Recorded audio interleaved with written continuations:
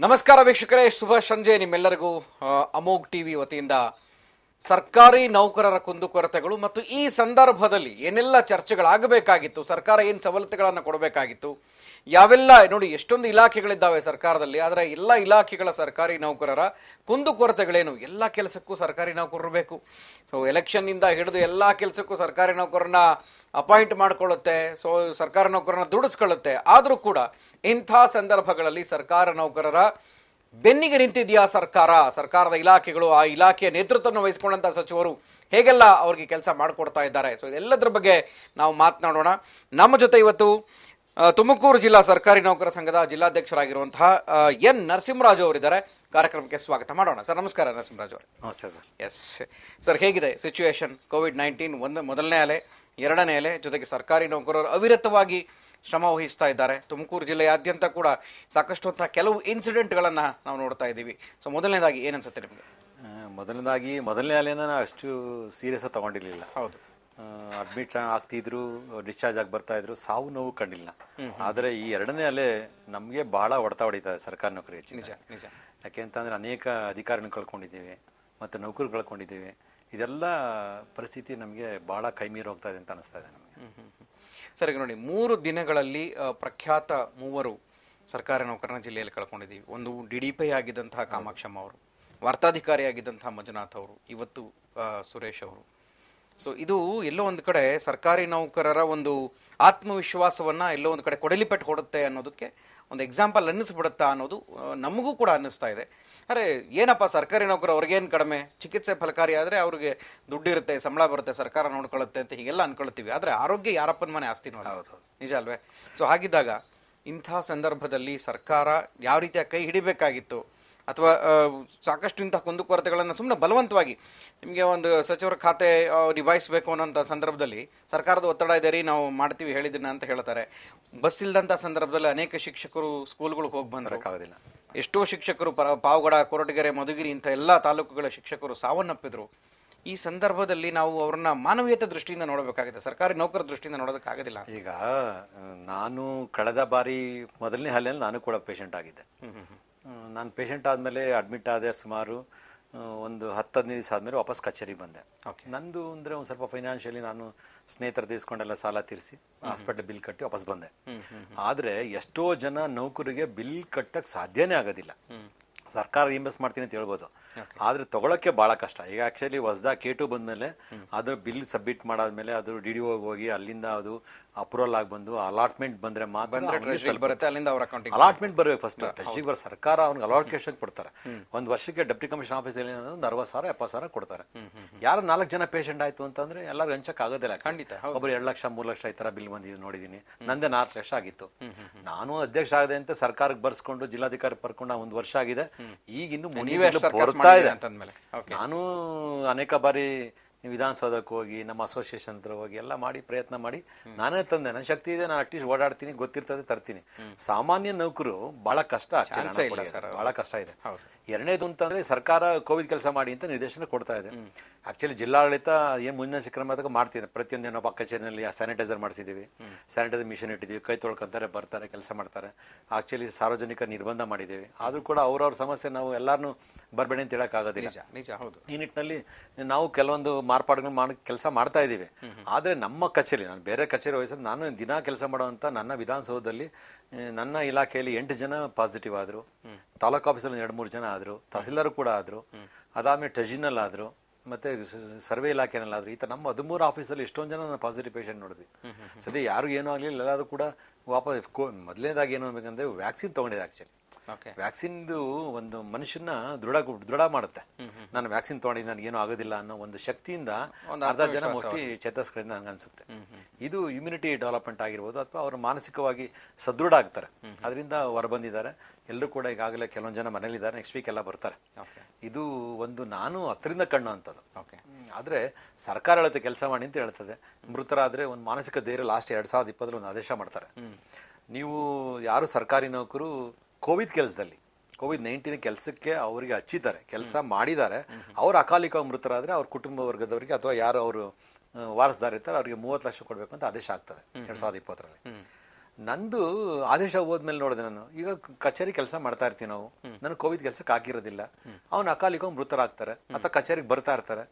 ಏನೋ ಒಂದು ಅಪಘಾತ ಆಗ್ತದೆ. ಅದರ ಅದನ್ನ ನೀವು ಕೋವಿಡ್ ಅಂತ ಯಾಕೆ ಪರಿಗಣಿಸ್ತೀರಾ ನೀವು ಅಂತ? ಈ ಅವಧಿನಲ್ಲಿ ಲಾಕ್ಡೌನ್ ಅವಧಿನಲ್ಲ ಯಾ ಯಾ ಕನ್ಫ್ಯೂಷನ್ ಯಾಕೆ ಸರ್ಕಾರದಿಂದ ಇದು ಅಂತ? ಸರ್ಕಾರಕ್ಕೆ ಯಾರು ಈಗ ನನ್ ನೋಡಿ ಐ ಎ ಎಸ್ ಲಾಬಿ ನನಗೆ ಗೊತ್ತಿರೋ ಪ್ರಕಾರ ಸರಿಯಾಗಿ ಮಾಹಿತಿಗಳನ್ನು ಕೊಡೋದಿಲ್ಲ. ಓಕೆ ಸಂಘದನ್ನ ಅಟ್ಲೀಸ್ಟ್ ಕೇಳೋದಿಲ್ಲ. ನಾವು ಸಂಘದವ್ರು ಕೇಳಿದ್ದೀನಿ ಲೆಟರ್ ಬರ್ದಿನಿ ನಾವು ರಾಜ್ಯದರ್ಶಿ ಷಡಾಕ್ಷರ ನಾವು ಲೆಟರ್ ಬರ್ದಿದ್ದೀನಿ ಆಕ್ಚುಲಿ ನಾನು ಸರ್ ಕೋವಿಡ್ನ ಸಪ್ರೇಟ್ ಮಾಡಿಬಿಡಿ ನೀವು. ಬೈಫಿಕೇಶನ್ ಮಾಡಿ ಸರ್ಕಾರಿ ನೌಕರ ಸಾವು ಎಲ್ಲ ಕಡೆಯಿಂದ ಬಂದ್ರು ಸಾವೇ ತಾನೆ ಅವನು ಕುಟುಂಬ ಇದೆಯಲ್ಲ ಸರ್. ಹೌದು. ಅವನು ಕುಟುಂಬ ಇದೆ. ಕೋವಿಡ್ ಇಂದ ಸತ್ತವ್ರಿಗೆ ಅಥವಾ ಸರ್ಕಾರಿ ನೌಕರೆಲ್ಲೋ ಆಕ್ಸಿಡೆಂಟ್ ಆಗಿ ಸತ್ತವ್ರಿಗೆ ಅಥವಾ ಇನ್ನೇ ಹೃದಯಾಘಾತ ಆಗಿ ಸತ್ತವ್ರಿಗೆ. ಸೊ ಇದನ್ನ ಯಾಕೆ ಬೇರೆ ಬೇರೆ ಮಾಡ್ತೀರಿ? ಸಾವನ್ನ ಯಾಕೆ ಅದರಲ್ಲಿ ಕೋವಿಡ್ ಸಾಯ್ತಾನೆ ಸರ್. ಬೇಡ ಬೇರೆದ್ ಬೇಡ. ಆಕ್ಸಿಡೆಂಟ್ ಸಾಯೋದ್ ಬೇಡ ಸರ್. ಕೋವಿಡ್ ಅಲ್ಲೇ ಸಾಯ್ತಾನೆ ಅವನು. ಕೋವಿಡ್ ಬರ್ತದೆ ಹಾಸ್ಪಿಟಲ್ ಅಡ್ಮಿಟ್ ಆಗ್ತಾನೆ ಅವ್ರು ರಿಕವರಿ ಆಗೋದು ಸತ್ತಾನೆ. ಅವನಿಗೆ ದುಡ್ಡು ಕೊಡಕ್ಕೆ ಇನ್ನೇನು ವಿಷಯ ಹೇಳ್ತಾರೆ ಸರ್ಕಾರ ಹೇಳ್ತದೆ. ಯಾಕೆ? ಅದಕ್ಕೆ ಬೈಬೇಕು ಆದೇಶ ಇದೆ ನನ್ನ ಹತ್ರ ತಂದಿದೆ ಆಕ್ಚುಲಿ ಎರಡ್ ಸಾವಿರದ ಇಪ್ಪತ್ತು ಆದೇಶ ಆಗ್ತದೆ. ಬೈಫಿಕೇಶನ್ ಯಾಕೆ ಮಾಡ್ತೀರಾ ಅಂತ ನನ್ನ ವಾದ. ಅವನು ಕೋವಿಡ್ ಪೇಷಂಟ್ ಅಂತ ಅಂದ್ಮೇಲೆ ಈ ಸರ್ ನೀವು ಮೂವತ್ತು ಲಕ್ಷ ಕೊಟ್ಬಿಡಿ ಅವನಿಗೆ. ಅದನ್ನೇ ಬೈಫಿಕೇಶನ್ ಮಾಡ್ತೀರಾ? ಕೆಲಸಕ್ಕೆ ಬರ್ತಾನಲ್ಲ ಅವನು. ಕೆಲಸಕ್ಕೆ ಬಂದಿದ್ರೆ ಹಚ್ಚಿರ್ತಾನೆ ಯಾರೋ ಹಚ್ಚಿರ್ತಾರೆ ಯಾರೋ ಪಬ್ಲಿಕ್ ಬರ್ತಾರೆ ಯಾರೋ ಪಾಸಿಟಿವ್ ಪೇಷಂಟ್ ಹಚ್ಚೋಗಿರ್ತಾರೆ ಅವ್ರಿಗೆ. ಬಸ್ಸಲ್ಲಿ ಪ್ರಯಾಣ ಮಾಡ್ತಾರೆ. ಹೌದು ಹೌದು. ಈಗೆಲ್ಲ ಅವನೇನು ಎಲ್ಲಾರು ತುಂಬಿಕಲಿಕ್ಕೆ ಸಾಧ್ಯ ಇಲ್ವಾ? ಸರ್ ಒಂದು ಪ್ರಶ್ನೆ ಸರ್. ಸರ್ಕಾರಿ ನೌಕರರ ಈ ಕೋವಿಡ್ ನೈನ್ಟೀನ್ ಸಾವಿಗೆ ಯಾರು ಹೊಣೆ ನೇರವಾಗಿ ಹಾಕಿದ್ದಾರೆ? ಈಗ ಹೊಣೆಗಾರನು ಮಾಡಕ್ ಸಾಧ್ಯ ಇಲ್ಲ. ಆದ್ರೆ ನಮ್ಮ ಕಚೇರಿಲಿ ಜಿಲ್ಲಾಡಳಿತ ಇರ್ಬೋದು, ಕಚೇರಿಯ ಮುಖ್ಯಸ್ಥರಿರ್ಬೋದು ಮುನ್ನೆಚ್ಚರಿಕೆ ಕ್ರಮ ಮಾಡ್ತೀವಿ ನಾವು. ಆದ್ರೂ ಕೂಡ ಬರ್ತಾ ಇದೆ. ಯಾರಿಗೂ ಗೊತ್ತೇ ಆಗಲ್ಲ. ಆಕ್ಚುಲಿ ಕೆಲಸ ಜೊತೆಗೆ ಮಾಡ್ತಿದ್ರು ಪಾಸಿಟಿವ್ ಬರ್ತದೆ. ಆದ್ರೆ ನಾವು ಹೊಣೆಗಾರನ ಮಾಡಕ್ ಸಾಧ್ಯ ಇಲ್ಲ. ಆದರೆ ಹೊಣೆ ಆದಮೇಲೆ, ಹಂಗಂದ್ರೆ ಅವನು ಅಕಾಲಿಕವಾಗಿ ಏನಾರ ಮೃತರಾದ ಸರ್ಕಾರಿ ನೌಕರ, ನೀವು ದುಡ್ಡು ಕೊಡಿ. ಅಷ್ಟೇ, ನಾನು ಅದನ್ನೇ ಹೇಳಿದ್ದೀನಿ ಮೋಸ್ಟ್ಲಿ ತಿದ್ದುಪಡಿ ಆಗ್ತದೆ ಮೋಸ್ಟ್ಲಿ ಅತಿ ಶೀಘ್ರದಲ್ಲೇ. ಆಮೇಲೆ ಎಂಬ ರಿಎಂಬರ್ಸ್ಮೆಂಟ್ ನಾವು ಹೇಳಿದ್ವಿ ಎಂಬರ್ಸ್ಮೆಂಟ್ ಎಷ್ಟು ಜನಕ್ಕೆ ಗೊತ್ತೇ ಇರಲ್ಲ ಆಕ್ಚುಲಿ ಅವ್ನ ಮನೇಲಿ ಯಾರು ಗೊತ್ತಿರಲ್ಲ. ತಕ್ಷಣ ಅಡ್ಮಿಟ್ ಮಾಡಕ್ ಕೊಂಡೋಗ್ತಾರೆ ಅಡ್ಮಿಟ್ ಮಾಡಿಸ್ಲೇಬೇಕು. ಹಣ ಕಟ್ಟಿ ಅಂತಾರೆ ಬೆಡ್ಗೆ ಐವತ್ತು ಸಾವಿರ ಒಂದು ಲಕ್ಷ ಕಟ್ಟಿ ಅಂತಾರೆ. ಎಲ್ಲಿ ತರ್ತಾರೆ ಅದನ್ನ? ಎಲ್ಲಿ ತರ್ತಾರೆ? ಇದು ಒಂದು ನಾನೇ ಆ್ಯಕ್ಚುಲಿ ನಾನು ಹಾಸ್ಪಿಟ್ ಮಾಡಿದ್ರೆ ಹೋದಾಗ ನಾನು ಆಕ್ಚುಲಿ ಭಾಳ ಇದಾಗಿತ್ತು ನನಗೆ. ಈಗ ನಾನೇ ಎಕ್ಸ್ಪೀರಿಯನ್ಸ್ ನನ್ನ ಅನುಭವನ ಹೇಳ್ಕೊತೇನೆ ನಿಮ್ಮದು ನನಗಾದಲ್ಲಿ ಯಾರು ತಕ್ಷಣ ಏನು ಮಾಡಿದ್ವಿ ಹಾಸ್ಪಿಟ್ಲಿಗೆ ಅಡ್ಮಿಟ್ ಆದ್ವಿ. ಆಮೇಲೆ ಬಿಲ್ ಕಟ್ಕೊಂಡು ಒಳಗಡೆ ಆಚೆ ನಾನು ಒಳಗಡೆ ಇರ್ತೀನಿ. ಆಚೆ ಎಷ್ಟು ಬಿಲ್ ಕಟ್ಟೋದು ಗೊತ್ತೇ ಇರಲ್ಲ ನಂಗೆ ಆಕ್ಚುಲಿ ಹೌದು ಹೌದು. ಬಿಲ್ ಕಟ್ಟಿದ್ರು. ಆಮೇಲೆ ನೋಡ್ತೀನಿ ವಾಪಸ್ ಬಂದ್ಮೇಲೆ ಮೂರು ಮೂರು ತೊಂಬತ್ತಾಗಿದೆ ನನ್ನ ಬಿಲ್ ಸರ್ ಎಷ್ಟೋ ಜನ ಹೆದರು ಬಿಡ್ತಾರೆ ಸರ್ ನಾವು ಆಸ್ಪತ್ರೆಗೆ ಹೋಗೋದು ಬೇಡ. ನಾವು ಇನ್ನೆಲ್ಲೋ ಒಂದ್ ಕಡೆ ಸ- ಚಿಕ್ಕಪುಟ್ಟ ಕ್ಲಿನಿಕ್ಗೂ ಇಲ್ಲ ಮನೇಲೆ ಕೂತ್ಕೊಂಡು ಏನೋ ಮಾಡ್ಕೊಳ್ಳೋಣ ಅಂತ ಹೆದರು ಬಿಡ್ತಾರೆ. ದುಡ್ಡು ಈ ಈ ಎರಡನೇ ಅಲೆ ಬಂದ್ಮೇಲೆ ನಾನು ಆಲ್ಮೋಸ್ಟ್ ಆಲ್ ಪ್ರತಿಯೊಬ್ಬ ಸರ್ಕಾರ ನೌಕರನು ಫೋನಲ್ಲಿ ಮಾತಾಡಿದೀನಿ ನಾನೇ ಹಾಸ್ಪಿಟ್ಲಿಗೆ ಹೋಗಿದ್ದೀನಿ ಅವ್ರನ್ನ ಅಡ್ಮಿಷನ್ ಮಾಡಿಸಿದ್ದೀನಿ. ಗೌರ್ಮೆಂಟ್ ಹಾಸ್ಪಿಟ್ಲ್ ಬಹಳ ಚೆನ್ನಾಗಿ Tumakuru actually COVID patient doctor Yashwant ಇರ್ಬೋದು ಅಥವಾ ಡಿ ಎಚ್ ಒ ಇರ್ಬೋದು ಅಥವಾ ಸರ್ಜನ್ ಸುರೇಶ್ ಇರ್ಬೋದು ಹಾಗೆ ವೀಣಾ ಮೇಡಮ್ ಇರ್ಬೋದು. ನಾವೆಲ್ಲರೂ ಕೂಡ ನಾನು ಅನೇಕ ನಾನು ಹೋದ ತಕ್ಷಣ ಪೇಷಂಟ್ ಅಟ್ಲೀಸ್ಟ್ ನನ್ನ ಡೈರೆಕ್ಟರ್ಸ್ ಇರ್ತಾರಲ್ಲ ಸರ್ಕಾರ ನೌಕರ ನಿರ್ದೇಶಕರು ಹಾಸ್ಪಿಟಲ್ ಕೆಲಸ ಮಾಡ್ತಾ ಇರ್ತಾರೆ. ಅವ್ರಿಗೆ ಅಟ್ಲೀಸ್ಟ್ ಫೋನ್ ಮಾಡಿದ್ರೆ ಯಾರೋ ಸರ್ಕಾರಿ ನೌಕರಿ ಯಾವುದೇ ಪೇಷಂಟ್ ಅಡ್ಮಿಟ್ ಆಗಲಿ ಇಡೀ ಜಿಲ್ಲೆಯವರು. ಪ್ರೈವೇಟ್ ಹಾಸ್ಪಿಟ್ಲ್ ಇರ್ಬೋದು ಗೌರ್ಮೆಂಟ್ ಹಾಸ್ಪಿಟ್ಲ್ ಇರ್ಬೋದು. ನಾನೇ ಖುದ್ದಾಗಿ ಹೋಗಿ ಅವ್ರನ್ನ ಭೇಟಿ ಮಾಡಿ ಅವರಿಗೆ ಧೈರ್ಯ ಹೇಳಿ ಅವ್ರನ್ನ ಬಿಡುಗಡೆ ಆಗೋರು ನಾನು ಆ್ಯಕ್ಚುಲಿ ಮಾಡಿದ್ದೀನಿ. ಈ ಬಾರಿ ಆದರೆ ಕೆಲವೊಂದು ಜನ ಭಾಳ ಸೀರಿಯಸ್ ಆದ್ಮೇಲೆ ಬರ್ತಾರೆ. ಎಲ್ಲ ನೋಡಿರ್ಬೋದು ಆ್ಯಕ್ಚುಲಿ ಕೊನೆ ಕ್ಷಣದಲ್ಲಿ ಹೋದಾಗ ಭಾಳ ಕಷ್ಟ ಹೌದು. ಹೌದು ಬೆಡ್ ಪ್ರಾಬ್ಲಮ್ ಈಗ ಅಲೋಕೇಶನ್ ಮಾಡೋಕ್ಕೆ ಜಿಲ್ಲಾಡಳಿತ ಬಹಳ ನಾನು ಕೂಡ ಕೆಲಸ ಮಾಡ್ತಾ ಇರೋದು ಕೋವಿದ ಕೆಲಸ ಮಾಡ್ತಾ ಇರೋದ್ರಿಂದ ಈಗಾಗಲೇ ಬೆಡ್ನ ಆಲ್ಮೋಸ್ಟ್ ಆಲ್ ನಮ್ಮ ರಿಕ್ವೈರ್ಮೆಂಟ್ ಐನೂರ ಇಪ್ಪತ್ತು ಬೆಡ್ ಕೊಟ್ಟಿದ್ರು. ಐನೂರ ಇಪ್ಪತ್ತಂದ್ರೆ ಐನೂರು ಇದರಲ್ಲಿ ನಾವು ನೂರ ನಲವತ್ತೆರಡು ಮಾಮೂಲಿ ಐ ಸಿ ಬೆಡ್ ಕೊಟ್ಟಿದ್ದಾರೆ ನಮಗೆ. ಐನೂರು ಬೆಡ್ಡು ಆಕ್ಸಿಜನ್ ಬೆಡ್ ಇದೆ.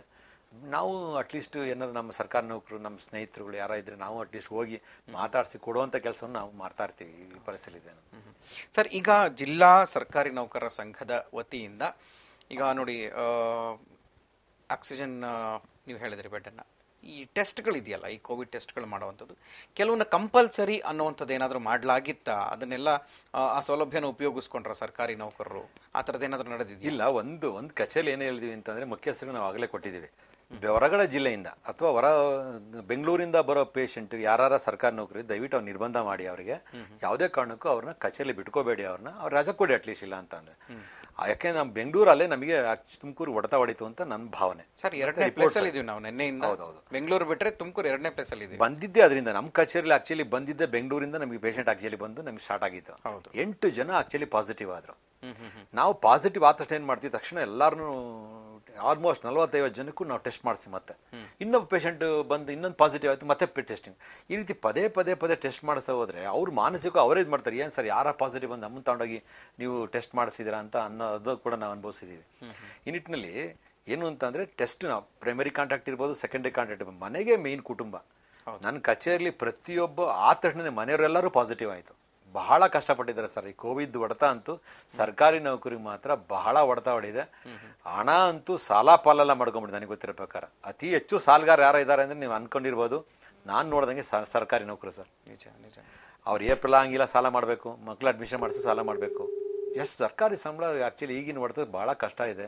ಅದಕ್ಕೆ ನಾವು ಕೇಂದ್ರ ಸರಿಸಮಾನ ವೇತನ ದಬ್ಗೂ ಕೊಟ್ಬಿಡಿ. ನಾವು ಬದುಕೊಂತೀವಿ ಅಟ್ಲೀಸ್ಟ್. ಸರ್ಕಾರ ನೌಕರಿ ಏನೋ ಸಮಾಜ ಸರ್ ಪಕ್ಕದ ರಾಜ್ಯಗಳನ್ನ ಎಕ್ಸಾಂಪಲ್ ಕೊಡ್ಬೋದಾ? ಆಂಧ್ರ ತೆಲಂಗಾಣ ತಮಿಳುನಾಡು ಈಗ ಸರ್ಕಾರಿ ನಾನು ನೌಕರ ಕೇಳ್ದೆ. ಸಂಬಳ ನಾನು ಎಷ್ಟಿದೆ ಡೆಪ್ಟಿ ಅಂತಂದ್ರೆ ತಹಸೀಲ್ದಾರ್ ನಮ್ದು ಕೇಳಿದ್ದೆ. ಏನೇನಕ್ಕೂ ಬೇಡ ಸರ್ಕಾರಿ ನೌಕರ ಹೌದು, ಕರ್ನಾಟಕದವ್ರದ್ದು exactly. ಈಗ ನಾನು ತಹಸೀಲ್ದಾರ್ ಕೇಡಲಿದ್ದೀನಿ ಡೆಪ್ಟಿ ತಹಸೀಲ್ದಾರ್ ಕೇಡಲಿದ್ದೀನಿ ಕೆಲಸ ಮಾಡ್ತಾ ಇದ್ದೀನಿ. ನನ್ನ ಸಂಬಳ ನಲವತ್ತೈದು ಸಾವಿರ ಐವತ್ತು ಸಾವಿರ ಸಂಬಳ ಬರುತ್ತೆ. ಆದ್ರೆ ಆಂಧ್ರದಲ್ಲಿ ಅಥವಾ ತಮಿಳುನಾಡಲ್ಲಿ ಎಂಬತ್ತೈದು ಸಾವಿರ ಸಂಬಳ ಅಂತ ತೊಂಬತ್ತು ಸಾವಿರ ಸಂಬಳ ಅಂತ ಎರಡರಷ್ಟು ಸಂಬಳ ಇದೆ ಅಲ್ಲ ಈಗ ನನ್ನ ಪಕ್ಕದ ಮನೆಯಲ್ಲಿ ಕೇಂದ್ರ ಸರ್ಕಾರದವ್ರು ಇರ್ತಾರೆ ಬಿ ಎಸ್ ಎನ್ ಇರ್ತಾರೆ ಅನ್ಕೊಳ್ಳಿ ಅವನಿಗೂ ಅಕ್ಕಿ ರೇಟ್ ಸೇಮ್ ಅಲ್ಲ. ಹೌದು. ಅವನು ಸಾವಿರದ ಇನ್ನೂರು ಕೊಟ್ರೆ ಅವ್ನಿಗೆ ಇಪ್ಪತ್ತೈದು ಕೆಜಿ ಅಕ್ಕಿ ಕೊಡ್ತಾರೆ ನನಗೂ ಸಾವಿರದ ಇನ್ನೂರು ಇಪ್ಪತ್ತೈದು ಕೊಡ್ತಾರೆ. ಅವನಿಗೆ ವೇತನ ಜಾಸ್ತಿ ಎಂಬತ್ತು ಸಾವಿರ ಸಂಬಳ ಅಂತಾನೆ ಪಕ್ಕ ಮನೆ ನಾನು ಕಡಿಮೆ ಅಂತೀನಿ ನಂದೇನು ವ್ಯತ್ಯಾಸ ಇಲ್ವಲ್ಲ? ನೀವು ಅದಕ್ಕೆ ಕೇಂದ್ರ ಸಮಾನ ವೇತನ ಕೊಡಿ ಸ್ವಾಮಿ. ನಾವು ಅಟ್ಲೀಸ್ಟ್ ಸರ್ಕಾರ ನೌಕರು ಬದುಕೋತೀವಿ ಅನ್ನೋದು ನನ್ನ ಪಾಲಿಸಿ. ನಮ್ಮ ಜನ ಏನು ನೋಡ್ತಾರೆ? ಸರ್ಕಾರಿ ನೌಕರು ಅಂದ್ರೆ ಒಂದು ಸ್ವಲ್ಪ ಸ್ಟ್ಯಾಂಡರ್ಡ್ ಆಗಿ ನೋಡ್ತಾರೆ. ಏನು ಸರ್ಕಾರಿ ನೌಕರು ಅಂದ್ರೆ ಕೆಲಸ ಬಿಗಿಯಾಗಿದೆ ಅಷ್ಟೇ. ಬಿಗಿಯಾಗಿದೆ ಅಂತ ಅಂತಾರೆ. ನಮ್ಮ ಕಷ್ಟ ಅಂತ ಕೆ ಜೆ ಡಿ ಸಾಲ ಅಂತಾರೆ ಬ್ಯಾಂಕ್ ಲೋನ್ ಅಂತಾರೆ ಪರ್ಸನಲ್ ಲೋನ್ ಅಂತಾರೆ ವೆಹಿಕಲ್ ಲೋನ್ ಅಂತಾರೆ ಎಲ್ಲ ಲೋನ್ ಲೋನ್ ಲೋನ್ ಸರ್. ಸರ್ಕಾರಿ ನೌಕರಿ ಎಕ್ಸ್ಚೇಜ್ಗೆ ಯಾರೇ ಅಂದು ಅಧಿಕಾರಿಗಳಿರ್ಬೋದು. ಅಲ್ಲಿ ಸಮಾನ ನಡಿ. A grade B grade C grade ಅಂತ ಮಾಡ್ಬೋದು. ನಮ್ಮ ಶಿಕ್ಷಕರು ಇರ್ಬೋದು ಕಷ್ಟದಲ್ಲಿ ಅವರಂತೂ ದಿನ ಯಾವ ಸ್ಕೂಲು ವರ್ಗಾವಣೆ ಐದು ವರ್ಷ ಆಯ್ತು ಅಂದ್ರೆ ಬರೀ ವರ್ಗಾವಣೆ. ನನ್ ಏನು ಅನ್ಕೊಂಡಿರ್ಬೋದು ಭಾಳ ಸಮಾಜ ಅನ್ಕೊಂಡಿರ್ಬೋದು ಸರ್ಕಾರಿ ನೌಕರಿ ಇವ್ರಿಗೆ ಏನು ಅಂತಾನೆ ಇವ್ರು ಏನು ಪದ ಒಂದು ಮೊದಲು ಉಪಯೋಗ ಸರ್ ನಮ್ಗಷ್ಟೇ. ಕಷ್ಟದ ಜೀವನ ಮಾಡಿದ ಸರ್ಕಾರಿ ನೌಕರು ಸರ್. ಅವ್ ಮನೆ ಕಟ್ಟ ಸಾಲ ತಗೊಂಡಿದ್ದ ಅವ್ನ ಕತೆ ಮುಗಿದು ಜೀವನ ಪರ್ಯಂತ ಸಾಲ ತೀರ್ಸದೆ. ರಿಟೈರ್ ಆದ್ರೂ ಬೈಕ್ ಅಂತ ನಾ ಸಾಲ ತೀರೋದೇ ಇಲ್ಲ ಅದು. ಬರೀ ಸಾಲ ಸಾಲ ಅವ್ನು ಅವ್ನು ನಲ್ವತ್ತು ಸಾವಿರ ಮೂವತ್ತೈದು ಸಾವಿರ ಸಂಬಳ ತಗೊಂಡ್ರೆ ಆಲ್ಮೋಸ್ಟ್ ಹತ್ತು ಸಾವಿರ ಕೈಗೆ ತಗೊಂಬರ್ತಾರೆ ಸರ್. ಇದು ಇಂಥ ಪರಿಸ್ಥಿತಿ ಇದೆ. ಅದಕ್ಕೆ ಸಮಾನ ವೇತನ ಕೊಡಿ ಅಟ್ಲೀಸ್ಟ್ ಇಂಥ ಪರಿಸ್ಥಿತಿ ಇಲ್ಲಾರ ನಮ್ಮ ನೋಡ್ಕೊಳ್ಳಿ ಅಂತ ಹೇಳ್ತಿರೋದು. ವೇತನ ಅಟ್ಲೀಸ್ಟ್ ಈಗ ಆರೋಗ್ಯ ಇಲಾಖೆ ಸರ್. ಆರೋಗ್ಯ ಇಲಾಖೆ ಟ್ವೆಂಟಿ ಫೋರ್ ಅವರ್ಸ್ ಕೆಲಸ ಮಾಡ್ತಾರೆ ಸರ್. ಪಿ ಪಿ ಕಿಟ್ ಹಾಕೊಂಡು ಕೆಲಸ ಮಾಡ್ತಾರೆ ಸರ್ ಹೌದು ಆ್ಯಕ್ಚುಲಿ ನಾವು ನೆನ್ನೆ ಮೊನ್ನೆ ಗೌರ್ಮೆಂಟ್ ಹಾಸ್ಪಿಟ್ಲಿಗೆ ಹೋಗಿದ್ದೆ. ಪಿ ಪಿ ಕಿಟ್ನ ತೆಗೆಯೋದಲ್ಲ ಅವರು. ನಾವು ಯಾವುದೋ ಒಂದು ಆರಾಮ ಕೆಲಸ ಆಫೀಸರ್ ಮಾಡ್ತಿರ್ತೀವಿ ನಾವು. ಆದರೆ ಅವರಂತೂ ಪೇಷಂಟ್ ನೋಡ್ಕೋಬೇಕು. ನರ್ಸ್ಗಳು ಟ್ವೆಂಟಿ ಫೋರ್ ಅವರ್ಸ್ ಕೆಲಸ ಮಾಡ್ತಾ ಇದ್ದಾರೆ ಸರ್. ಅವ್ರಿಗಾದ್ರೆ ಅಟ್ಲೀಸ್ಟ್ ಅವ್ರಿಗಾರ ಅಟ್ಲೀಸ್ಟ್ ಸರ್ಕಾರ ಅಟ್ಲೀಸ್ಟ್ ಒಂದು ಒಂದು ತಿಂಗಳು ಎಕ್ಸ್ಟ್ರಾ ವೇತನ ಕೊಡಿ ಅಂತ ಕೊಡ್ಬೇಕಲ್ಲ ಸರ್ ಅಟ್ಲೀಸ್ಟ್ ಹೌದು ಹೌದು. ಆಧಾರ ಮಾಡ್ಬೇಕಲ್ಲ ಸರ್ ಈಗ ವೇತನ ಕೊಡೋದು ನೀವು ಹೇಳ್ತಿರೋ ಮಾತೆ ಕನಸಿನ ಮಾತು ಅಂತ ಅನಿಸ್ಬಿಡುತ್ತೆ ಮೋಸ್ಟ್ಲಿ ಸರ್ಕಾರ ಯೋಚನೆ ಮಾಡೋದು. ಸರ್ಕಾರಿ ನೌಕರಿಂದ ವೇತನ ಕೊಡಿ ನಿಮ್ಮ ವೇತನವನ್ನ ದೇಣಿಗೆ ಕೊಡಿ ಅಂತ ಕೇಳ್ತಾ ಇದೆ ಸರ್ಕಾರ. ಇದು ನಾನು ಕಳೆದ ಒಂದು ಫಿಫ್ಟೀನ್ ಡೇಸ್ ಬ್ಯಾಕ್ ಒಂದು ಪತ್ರಿಕೆಯಲ್ಲಿ ನೋಡಿದೆ. ಸರ್ಕಾರಿ ನೌಕರರ ಒಂದು ತಿಂಗಳ ವೇತನ ಸರ್ಕಾರ ಕೇಳುತ್ತೆ ಅಂತ ಅಂದ್ರು. ಹೆಂಗ್ ಕೇಳಿ ನನ್ಗೆ ಅರ್ಥ ಯಾರು? ನಾನು ಸರ್ಕಾರದ ಈ ಯೋಚನೆ ಇದೆಯಲ್ಲ ಈಗ ಒಂದು ತಿಂಗಳ ವೇತನ ಸರ್ಕಾರನೇ ಕೊಡಕ್ಕೆ ಒದ್ದಾಡುತ್ತೆ ಅಂತದ್ರಲ್ಲಿ ಪ್ರತಿಯೊಬ್ಬ ಸರ್ಕಾರಿ ನೌಕರ ಹೆಂಗ್ ಕೊಡಕ್ ಸಾಧ್ಯ ಇದೆ ನಾನು? ಸರ್ ಅದನ್ನ ಯೋಚನೆ ಹೆಂಗಾದ್ರೂ ಬಂತಿದ್ದು ಅಂತ? ಒಂದ್ ದಿನದ ವೇತನ ಕ್ಲಾಸ್ ಟೈಮ್ ಕೊಟ್ವಿ. ಕಳೆದ ಸೀಸನ್ ಯಾರು ಎಳ್ಸ್ಕೊಳ್ಳಲ್ಲ ನಾವು. ತಕ್ಷಣ ನಮ್ಮ ರಾಜ್ಯಾಧ್ಯಕ್ಷ ಎಲ್ಲರಿಗೂ ಫೋನ್ ಮಾಡಿದ್ರು. ಏನಪ್ಪಾ ನಿಮ್ ಡಿಸಿಷನ್ ಹೇಳಿ ಜಿಲ್ಲಾಧ್ಯಕ್ಷಗಳು ನೀವು. ಒಪಿನಿಯನ್ ಅಂತ ತಕ್ಷಣ ಒಂದ್ ದಿನ ವೇತನ ಕೊಟ್ವಿ. ಸುಮಾರು ನೂರು ಕೋಟಿ ಕೊಟ್ವಿ ನಾವು. ಕಳೆದ ಬಾರಿ. ಈಗ ಒಂದು ದಿನಕ್ಕೆ ನೂರು ಕೋಟಿ ಅಂತ ಅಂದ್ರೆ ಮೂವತ್ ದಿನಕ್ಕೆ ಎಷ್ಟು ಕೋಟಿ ಆಗೋದು ಈಗ? ಇದು ವೇತನ ನಾವು ಈಗ ನಾವು ನಾವೇ ಕಷ್ಟದಲ್ಲಿದ್ದೀವಿ ಸರ್. ಸರ್ಕಾರ ಏನ್ ಇಲ್ಲಿ ಹೇಳಿ ಬಿಡಿ ಸರ್ಕಾರದ ನಮ್ಗೆ ವೇತನ ಕೊಡಕ್ ಆಗೋದಿಲ್ಲ ಅಂತ ವೇತನ ಕೊಡ್ತಾ ಇದಾರೆ ಆಕ್ಚುಲಿ ನಮ್ಮ ಇಲಾಖೆಯಲ್ಲಿ ಕೊಡ್ತಾರೆ ಬೇರೆ ಬೇರೆ ಇಲಾಖೆಗಳು ನಾಲ್ಕು ನಾಲ್ಕು ವೇತನ ತಡೆಡ್ ತಡೆಡ್ ಕೊಡ್ತಾರೆ ಸರ್. ಆರೋಗ್ಯ ಇಲಾಖೆಯಲ್ಲಿ ನಾಲ್ಕು ನಾಲ್ಕು ತಿಂಗಳು ಸಂಬಳ ಆಗಲ್ಲ ಸರ್. ಹೌದು ಬೇರೆ ಬೇಡ ನಮಗೆ ಆರೋಗ್ಯ ಇಲಾಖೆಯಿಂದ ಮಾಡ್ತೀನಿ. ಶಿಕ್ಷಕರದು ಒಂದು ತಿಂಗಳಾಗ ಹದಿನೈದು ಸಾವಿರ ಸಂಬಳ ಕೊಡ್ತಾರೆ. ಇದು ಅದು ಜಡ್ ಪಿ ಹಾಕೊಂಡು ಬರ್ತದೆ. ಜಡ್ಪಿಯಿಂದ ತಾಲೂಕ್ ಪಂಚಾಯತಿಗೆ ಹಾಕ್ತಾರೆ. ತಾಲೂಕ್ ಪಂಚಾಯತ್ ಮತ್ತೆ ಬಿ ಆಫೀಸ್ ಹಾಕ್ತಾರೆ. ಇದು ಮೂರು ಸ್ಟೇಜ್ ದಾಟಿ ಆಮೇಲೆ ಟಚ್ ಕೇಟು ಬಿಲ್ ಹೋಗ್ತದೆ. ವೇತನ ತಗೋಬೇಕು ಅಂದ್ರೆ ಒಬ್ಬ ಯಾರ ಪದಾಧಿಕಾರಿ ಅವ್ನು ಬೆನ್ನತ್ತಿರ್ಬೇಕು ಅದನ್ನ. ನಮ್ಮಲ್ಲಿ ಒಬ್ರು ಇಬ್ರು ಮಾರು ರೆಗ್ಯುಲರ್ ಆಗಿದ್ದಾರೆ ತುಮಕೂರಿನಲ್ಲಿ ಶಿಕ್ಷಕ ಇಲಾಖೆನವರು. ಆ ವೇತನ ಬಂತು ಅಂತಂದ್ರೆ ಅದನ್ನ ಹಾಕ್ಸ್ಕೊಳ್ಳೋಕೆ ದೊಡ್ಡ ಸಾಹಸ ನಮ್ದು. ಇಂಥ ಪರಿಸ್ಥಿತಿಲಿ ಸರ್ಕಾರ ನೌಕರು ಕೆಲಸ ಮಾಡ್ತಾ ಇದ್ದಾರೆ. ಇದು ಬೇರೆ ಮಧ್ಯದಲ್ಲಿ ಕೋವಿಡ್ ಬೇರೆ ಕೆಲಸದ ಒತ್ತಡ ಬೇರೆ ಯೋಜನೆಗಳು ಜಾಸ್ತಿ. ಏಕಾಕಿ ಯೋಜನೆಗಳು ಜಾರಿ ಮಾಡ್ತಾರೆ ಸರ್. ಏಕಾಏಕಿ ಸ್ಟಾಫ್ ಅಷ್ಟೇ ಇದೆ. ಸ್ಟಾಫ್ ಜಾಸ್ತಿ ಮಾಡ್ತಿಲ್ಲ ರಿಕ್ರೂಟ್ಮೆಂಟ್ ಕಡಿಮೆ ಆಗ್ತಾ ಇದೆ. ರಿಟೈರ್ಡ್ ಆಗೋರು ವೇಕೆನ್ಸಿ ಫಿಲ್ ಮಾಡ್ತಿಲ್ಲ ಸರ್ಕಾರ. ಓಕೆ ಸರ್ ಒಬ್ರು ಫೋನ್ ಹೊರಡಿದ್ದಾರೆ ಶಿಕ್ಷಣ ಇಲಾಖೆಯಿಂದ. ಜಯಶೀಲ್ ಅವರು ಕಾಲ್ ಮಾಡಿದ್ದಾರೆ. ಸರ್ ನಮಸ್ಕಾರ ಜಯಶೀಲ್ ಅವರೇ. ನಮಸ್ತೆ ಸರ್. ಇವತ್ತು ಸರ್ಕಾರಿ ನೌಕರರ ಸಂಘದ ವತಿಯಿಂದ ಅಂದ್ರೆ ಏನೆಲ್ಲ ಸರ್ಕಾರಿ ನೌಕರಿಗೆ ಸೌಲಭ್ಯ ಸಿಗಬೇಕಾಗಿತ್ತು? ಸಾವು ನೋವುಗಳಾಗ್ತಾ ಇದೆ. ಕೋವಿಡ್ ನೈನ್ಟೀನ್ ಕೆಲಸದಲ್ಲಿ ಸಾಕಷ್ಟು ಜನ ಸುನಿಗಿದ್ದಾರೆ ತುಮಕೂರು ಜಿಲ್ಲೆನಲ್ಲಿ. ನಮ್ಮ ಜಿಲ್ಲಾಧ್ಯಕ್ಷರು ನರಸಿಂಹರಾಜ್ ಅವರು ಇದ್ದಾರೆ ಸರ್ ಪ್ಯಾನೆಲ್ ಅಲ್ಲಿ ಇವತ್ತು. ಸೊ ಹಾಗಾಗಿ ಈ ವಿಚಾರಗಳು ಎಲ್ಲ ಒಂದು ಕಡೆ ಸರ್ಕಾರಿ ನೌಕರನ್ನ ಜರ್ಜರಿತರನ್ನಾಗಿ ಮಾಡಿದೆ. ಯಾಕಪ್ಪ ಸರ್ಕಾರಿ ನೌಕರು ಸರ್ಕಾರಿ ಕೆಲಸ ಅನ್ನುವಂಥದ್ದು ಟ್ಯಾಗ್ಲೈನೇ ಬೇಡ ನಮಗೆ ಬಿಟ್ಟು ಹೋಗ್ಬಿಡೋಣ ಅನ್ನೋಷ್ಟು ಅವ್ರ ಮನಸ್ಥಿತಿ ಬಂದ್ಬಿಟ್ಟಿದ್ದಾರೆ ಅಂತ ಅನಿಸ್ತಾ ಇದೆ ಅಂತ. ಖಂಡಿತ ಸರ್ ಖಂಡಿತ ಸರ್ ಅದು. ಯಾಕೆಂದ್ರೆ ಇವತ್ತು ಸರ್ಕಾರಿ ನೌಕರು ನಮ್ದು ಪದವಿಪೂರ್ವ ಪದವಿ ಪೂರ್ವ ಶಿಕ್ಷಣ ಇಲಾಖೆ ಸರ್ ನಮ್ದು ಪದವಿ ಪೂರ್ವ ಶಿಕ್ಷಣ ಇಲಾಖೆ. ಇವತ್ತು ನಾವು ಕಾಲೇಜುಗಳಲ್ಲಿ ನಾವು ಕೆಲಸ ನಿರ್ವಹಿಸ್ಲಿಕ್ಕೆ ಆಗ್ತಾ ಇಲ್ಲ. ಮತ್ತೆ ಎಲ್ಲ ಮಕ್ಕಳುಗಳಿಗೆ ನಮ್ಮ ಏನು ಕರ್ತವ್ಯವನ್ನ ಅವ್ರಿಗೆ ಅವ್ರ ಮುಂದೆ ನಾವು ತೋರಿಸ್ಲಿಕ್ಕೆ ಆಗ್ತಾ ಇಲ್ಲ. ವಿದ್ಯಾಸಂಸ್ಥೆ ಅಂತಕ್ಕಂಥದ್ದು ಸ್ಥಗಿತಗೊಂಡ್ಬಿಟ್ಟಿದೆ ಸಂಪೂರ್ಣವಾಗಿ ಸ್ಥಗಿತಗೊಂಡಿದೆ. ಆನ್ಲೈನ್ ಅಂತಕ್ಕ ಆನ್ಲೈನ್ ಎಜುಕೇಶನ್ ಅಂತಕ್ಕಂಥದ್ದು ಅಷ್ಟೊಂದು ಸಕ್ಸಸ್ಫುಲ್ ಆಗ್ತಾ ಇಲ್ಲ. ಸೊ ಹಾಗಾಗಿ ಈ ಕರೋನಾದಿಂದ ನಮ್ಗೆ ತುಂಬಾ ತುಂಬಾ ಹೊಡೆತ ಆಗಿದೆ ಸರ್. ಈ ಒಂದು ಹೋದ ವರ್ಷ ಮತ್ತೆ ಈ ವರ್ಷದ ಎರಡು ವರ್ಷದಿಂದ ಈ ಈ ಒಂದು ಗ್ಯಾಪ್ ಕ್ರಿಯೇಟ್ ಆಗುತ್ತೆ ನಮ್ಮ ಮುಂದೆ ಇನ್ನೊಂದು ಐವತ್ತು ವರ್ಷಗಳ ಕಾಲ ಈ ಗ್ಯಾಪ್ ಕ್ರಿಯೇಟ್ ಆಗುತ್ತೇನೋ ಎಜುಕೇಶನ್ ಸಿಸ್ಟಮ್ ಅಲ್ಲಿ ಅನ್ನುವಂತ ಒಂದು ಭಾವನೆ ಮೂಡ್ತಾ ಇದೆ ಸರ್ ನಮಗೆ. ನಿಜ ನಿಜ. ಅದೊಂದು ಆತಂಕ ಇದ್ದೇ ಇದೆ. ಈಗ ಸರ್ಕಾರದ ಸವಲತ್ತುಗಳು ಅಂತ ಅಂದ್ಕೊಂಡಾಗ ಜಯಶೀಲ್ ಅವರೇ ಇಷ್ಟೊತ್ತಿಗೆ ಸರ್ಕಾರಿ ನೌಕರರಿಗೆ ಒಂದು ಜೀವನ ಭದ್ರತೆ ಮತ್ತು ಜೀವದ ಭದ್ರತೆ ಎರಡೂ ಸಿಗಬೇಕಾಗಿತ್ತು. ಎಲ್ಲ ಒಂದ್ ಕಡೆ ಅದ್ರ ಬಗ್ಗೆನೂ ಕೂಡ ಗ್ಯಾಪ್ ಆಗ್ತಾ ಇದೆ. ಸರ್ಕಾರ ಅದ್ರ ಬಗ್ಗೆ ಟಚ್ಚೇ ಮಾಡ್ತಾ ಇಲ್ಲ ಸರ್ಕಾರಿ ನೌಕರರ ವಿಚಾರಕ್ಕೆ ಅಂತ ಅನಿಸ್ತಾ ಇದೆ. ಖಂಡಿತ ಸರ್ ಖಂಡಿತ. ಇತ್ತೀಚಿನ ದಿನಗಳಲ್ಲಿ ನಾವು ಲಾಸ್ಟ್ ಒಂದು ಒಂದು ಟೆನ್ ಡೇಸ್ ಅಲ್ಲಿ ಸರ್ ಸುಮಾರು ಉಪನ್ಯಾಸಕರನ್ನ ನಾವು ಕಳ್ಕೊಂಡಿದ್ದೇವೆ ಸರ್. ತುಂಬಾ ಯಂಗ್ಸ್ಟರ್ಸ್ ಇವತ್ತು ಕೂಡ ಎಲ್ಲಾ ತರದಲ್ಲಿ ಕೆಮಿಸ್ಟ್ರಿ ಲೆಕ್ಚರರ್ ಒಬ್ರು ಮೊನ್ನೆ ವಿಜಯಪುರದಲ್ಲಿ ವಿಜಯಪುರದಲ್ಲಿ ಒಬ್ರು ಇಂಗ್ಲಿಷ್ ಲೆಕ್ಚರ್ ಈ ತರ ತುಂಬಾ ಕಡಿಮೆ ವಯಸ್ಸಿನ ಲೆಕ್ಚರರ್ಸ್ ಅನ್ನ ನಾವು ಕಳ್ಕೊಳ್ತಾ ಇದ್ದೇವೆ ಸರ್. ಈಗ ಜೀವ ಭದ್ರನು ಇಲ್ಲ. ಜೀವನ ಭದ್ರನೂ ಇಲ್ಲ. ಈ ತರ ಆಗ್ಬಿಟ್ಟಿದೆ ಸರ್ ನಮ್ಗೆ. ಸೊ ಹಾಗಾಗಿ ಇದು ಒಂದು ಕರೋನಾ ನಮ್ಗೆ ತುಂಬಾ ಹೊಡೆತ ಒಂದು ದೊಡ್ಡ ಹೊಡೆತ. ಒಂದು ದೊಡ್ಡ ಶಾಪ ಆಗ್ಬಿಟ್ಟಿದೆ. ಆದ್ರೂ ಕೂಡ ನಾವೆಲ್ಲರೂ ಕೂಡ ಇದನ್ನ ಧೈರ್ಯದಿಂದ ಎದುರಿಸಬೇಕು ಅನ್ನುವಂತ ಆ, ಒಂದು ಮನಸ್ಥಿತಿಯನ್ನ ನಾವಾಗಿ ನಾವು ಇದು ಮಾಡ್ಕೊಳ್ತಾ ಇದೀವಿ ಸರ್. ನಮ್ಮ ಅಧ್ಯಕ್ಷರು ನಮ್ಮ ನೌಕರರು ನಾವಾಗ ನಾವೇ ನಾವು ಸ್ವಯಂ ಸ್ಫೂರ್ತಿಯಾಗಿ ನಾವು ಧೈರ್ಯವಾಗಿರ್ಬೇಕು ಎದುರಿಸಬೇಕು ಅನ್ನುವಂತ ಮನಸ್ಥಿತಿಯನ್ನ ಸರ್ ತಾವು ಪಿ ಯು ಇಲಾಖೆಯಲ್ಲಿ ಇರೋದ್ರಿಂದ ಈ ಮಾತನ್ನ ಕೇಳ್ತಾ ಇದ್ದೀನಿ ಸರ್ ಈ ಪ್ರಶ್ನೆಯನ್ನ. ಕಳೆದ ಬಾರಿ ಒಂದು ಇಂಗ್ಲಿಷ್ ಸಬ್ಜೆಕ್ಟ್ ಅನ್ನ ಹ್ಯಾಂಡಲ್ ಮಾಡೋದಕ್ಕೆ ಸಾಕಷ್ಟು ತಿಂಗಳಾದ ಮೇಲೆ ಸೊ ಅದನ್ನ ಆನ್ಲೈನ್ ಕ್ಲಾಸ್ ಏನೋ ಒಂದು ಮಾಡಿ ಸಾಕಷ್ಟು ಸರ್ಕಸ್ ಮಾಡಿದ್ರಿ. ಬಟ್ ಈ ವರ್ಷ ಹೆಂಗೆ? ಅದಕ್ಕೆ ಏನ್ ಪ್ರಿಪರೇಷನ್ಸ್ ಯಾಕಂದ್ರೆ ವಿದ್ಯಾರ್ಥಿಗಳು ಎದುರು ನೋಡ್ತಾ ಇದ್ದಾರೆ ಪೋಷಕರು ನೋಡ್ತಾ ಇದ್ದಾರೆ. ಮುಂದೆ ಹೆಂಗಪ್ಪ ನೀವು ಆಗ್ಲೇ ಒಂದು ಮಾತು ಹೇಳಿದ್ರಿ. ಹೆಂಗಪ್ಪ ಈ ಗ್ಯಾಪ್ ಆಗ್ಬಿಟ್ರೆ ಎಜುಕೇಶನ್ ಗ್ಯಾಪ್ ಆದ್ರೆ ಖಂಡಿತ ಅದಕ್ಕಿಂತ ಬಡ ರಾಷ್ಟ್ರ ಇನ್ನೆಲ್ಲೂ ಇಲ್ಲ ನಮ್ಮ ಪ್ರಪಂಚದಲ್ಲಿ ಹುಡುಕ್ಬೇಕಾಗತ್ತೆ ಹಾಗೆ. ಖಂಡಿತ ಖಂಡಿತ ಸರ್ ಖಂಡಿತ ಸರ್. ಈ ಒಂದು ಪ್ಯಾಂಡಮಿಕ್ ಸಿಚುವೇಶನ್ ಅಲ್ಲಿ ಪ್ಯಾಂಡಮಿಕ್ ಸಿಚುವೇಶನ್ ಅಲ್ಲಿ ನಾನು ಒಬ್ಬ ವೈಯಕ್ತಿಕ ಒಬ್ಬ ಸಾಮಾನ್ಯ ಪ್ರಜೆಯಾಗಿ ಹೇಳ್ತೇನೆ ಸರ್ ನಾನು ಪ್ರಜೆಯಾಗಿ ಹೇಳ್ತೇನೆ. ಒಬ್ಬ ಉಪನ್ಯಾಸಕನಾಗಿ ಕೂಡ ನಾನು ಹೇಳ್ತೇನೆ. ಈ ವರ್ಷ ಏನು ಫಸ್ಟ್ ಇಯರ್ ಪಿ ಯು ಸಿಗೆ ಕಂಪ್ಲೀಟ್ ಪ್ರಮೋಷನ್ ಕೊಟ್ಟಿದ್ದಾರೆ. ಅದೇ ತರ ಸೆಕೆಂಡ್ ಇಯರ್ ಪಿ ಯು ಸಿನವರೆಗೂ ಪ್ರಮೋಷನ್ ಕೊಡುವಂತದ್ದು ಉಚಿತ ಅನ್ಸುತ್ತೆ ಸರ್ ನಮ್ಗೆ. ಈ ಆರ್ಟ್ಸ್ ಮತ್ತೆ ಕಾಮರ್ಸ್ ನವರಿಗೆ ಸಂಪೂರ್ಣವಾಗಿ ಪ್ರಮೋಷನ್ ಕೊಟ್ಟು ಸೈನ್ಸ್ ಓದಿರುವಂತ ವಿದ್ಯಾರ್ಥಿಗಳಿಗೆ ದೋಸ್ ಆರ್ ಈ ನೀಟು ಮತ್ತೆ ಸಿಇಟಿ ಆಸ್ಪಿರೆಂಟ್ಸ್ ಇದಾರಲ್ಲ ಸರ್ ಆ ಆಸ್ಪಿರೆಂಟ್ಸ್ಗೆ ಮಾತ್ರ ಪರೀಕ್ಷೆಯನ್ನು ಕೊಟ್ಟು ಸೈನ್ಸ್ ಅಲ್ಲೂ ಕೂಡ ನೀಟು ಮತ್ತೆ ಸಿಇಟಿಗೆ ಹೋಗದಿರ್ತಕ್ಕಂಥವ್ರಿಗೆ ಪ್ರಮೋಟ್ ಮಾಡೋದ್ರಿಂದ ಏನು ಅಂತ ಇದಾಗ್ಲಾರ್ದು. ಮತ್ತೆ ಈ ಎಕ್ಸಾಮಿನೇಷನ್ ವ್ಯವಸ್ಥೆಗೆ ಕಲೆಕ್ಟ್ ಆಗಿರ್ತಕ್ಕಂತ ಅಮೌಂಟ್ ಏನಿದೆ ಅದನ್ನ ಕೋವಿಡ್ಗೆ ಬಳಸ್ಕೊಳ್ಬಹುದು ಅನ್ನುವಂತ ಒಂದು ನಮ್ಮ ಅಭಿಪ್ರಾಯನೂ ಇದೆ ಸರ್ ಒಂದು ಇದು ಇದೆ ಸರ್. ಓಕೆ ನೋಡೋಣ ಸರ್ಕಾರ. ಈ ಸಿಚುವೇಶನ್ ಅಲ್ಲಿ ನಾವು ಮಕ್ಕಳನ್ನ ಕರೋನಾ ಇದರಲ್ಲಿ ನಾವು ಎಳ್ತಂದಂಗ್ ಆಗ್ಬಿಡುತ್ತೆ. ಕರೋನಾ ಇದಕ್ಕೆ ಎಳ್ತಂದಂಗ್ ಆಗುತ್ತೆ ಅನ್ನುವಂಥದ್ದು ಸರ್. ನಿಜ ನಿಜ ಸರ್. ಯಾಕಂದ್ರೆ ಈಗ ಮೂರನೇ ಅಲೆ ಅನ್ನುವಂತಹ ಒಂದು ಭಯ ಕೂಡ ನಮ್ಮನ್ನ ಕಾಡ್ತಾ ಇದೆ. ಇಡೀ ಯಾಕಂದ್ರೆ ತುಂಬಾ ಎಕ್ಸ್ಪರ್ಟ್ಸ್ ಹೇಳ್ತಾರೆ. ಪ್ರಧಾನಿ ಮೋದಿ ಅವರ ಜೊತೆ ಇರುವಂತಹ ಎಕ್ಸ್ಪರ್ಟ್ಸ್ ಕೂಡ ಹೇಳ್ತಾರೆ ಬಹಳಷ್ಟು ಮಕ್ಕಳನ್ನ ಇದು ಕಾಡುತ್ತೆ ಅನ್ನುವಂಥದ್ದು. ಹಾಗಾಗಿ ಎಚ್ಚೆತ್ಕೊಳ್ಳೇಬೇಕಾದಂತ ಅನಿವಾರ್ಯತೆ ಆತಂಕ ನಮಗಿದ್ದ ಇದೆ ಅಂತ. Thank you thank you sir thank you amount TV ಜೊತೆ ಮಾತನಾಡಿದ್ದಕ್ಕೆ ಜಯಶೀಲ್ ಅವರೇ.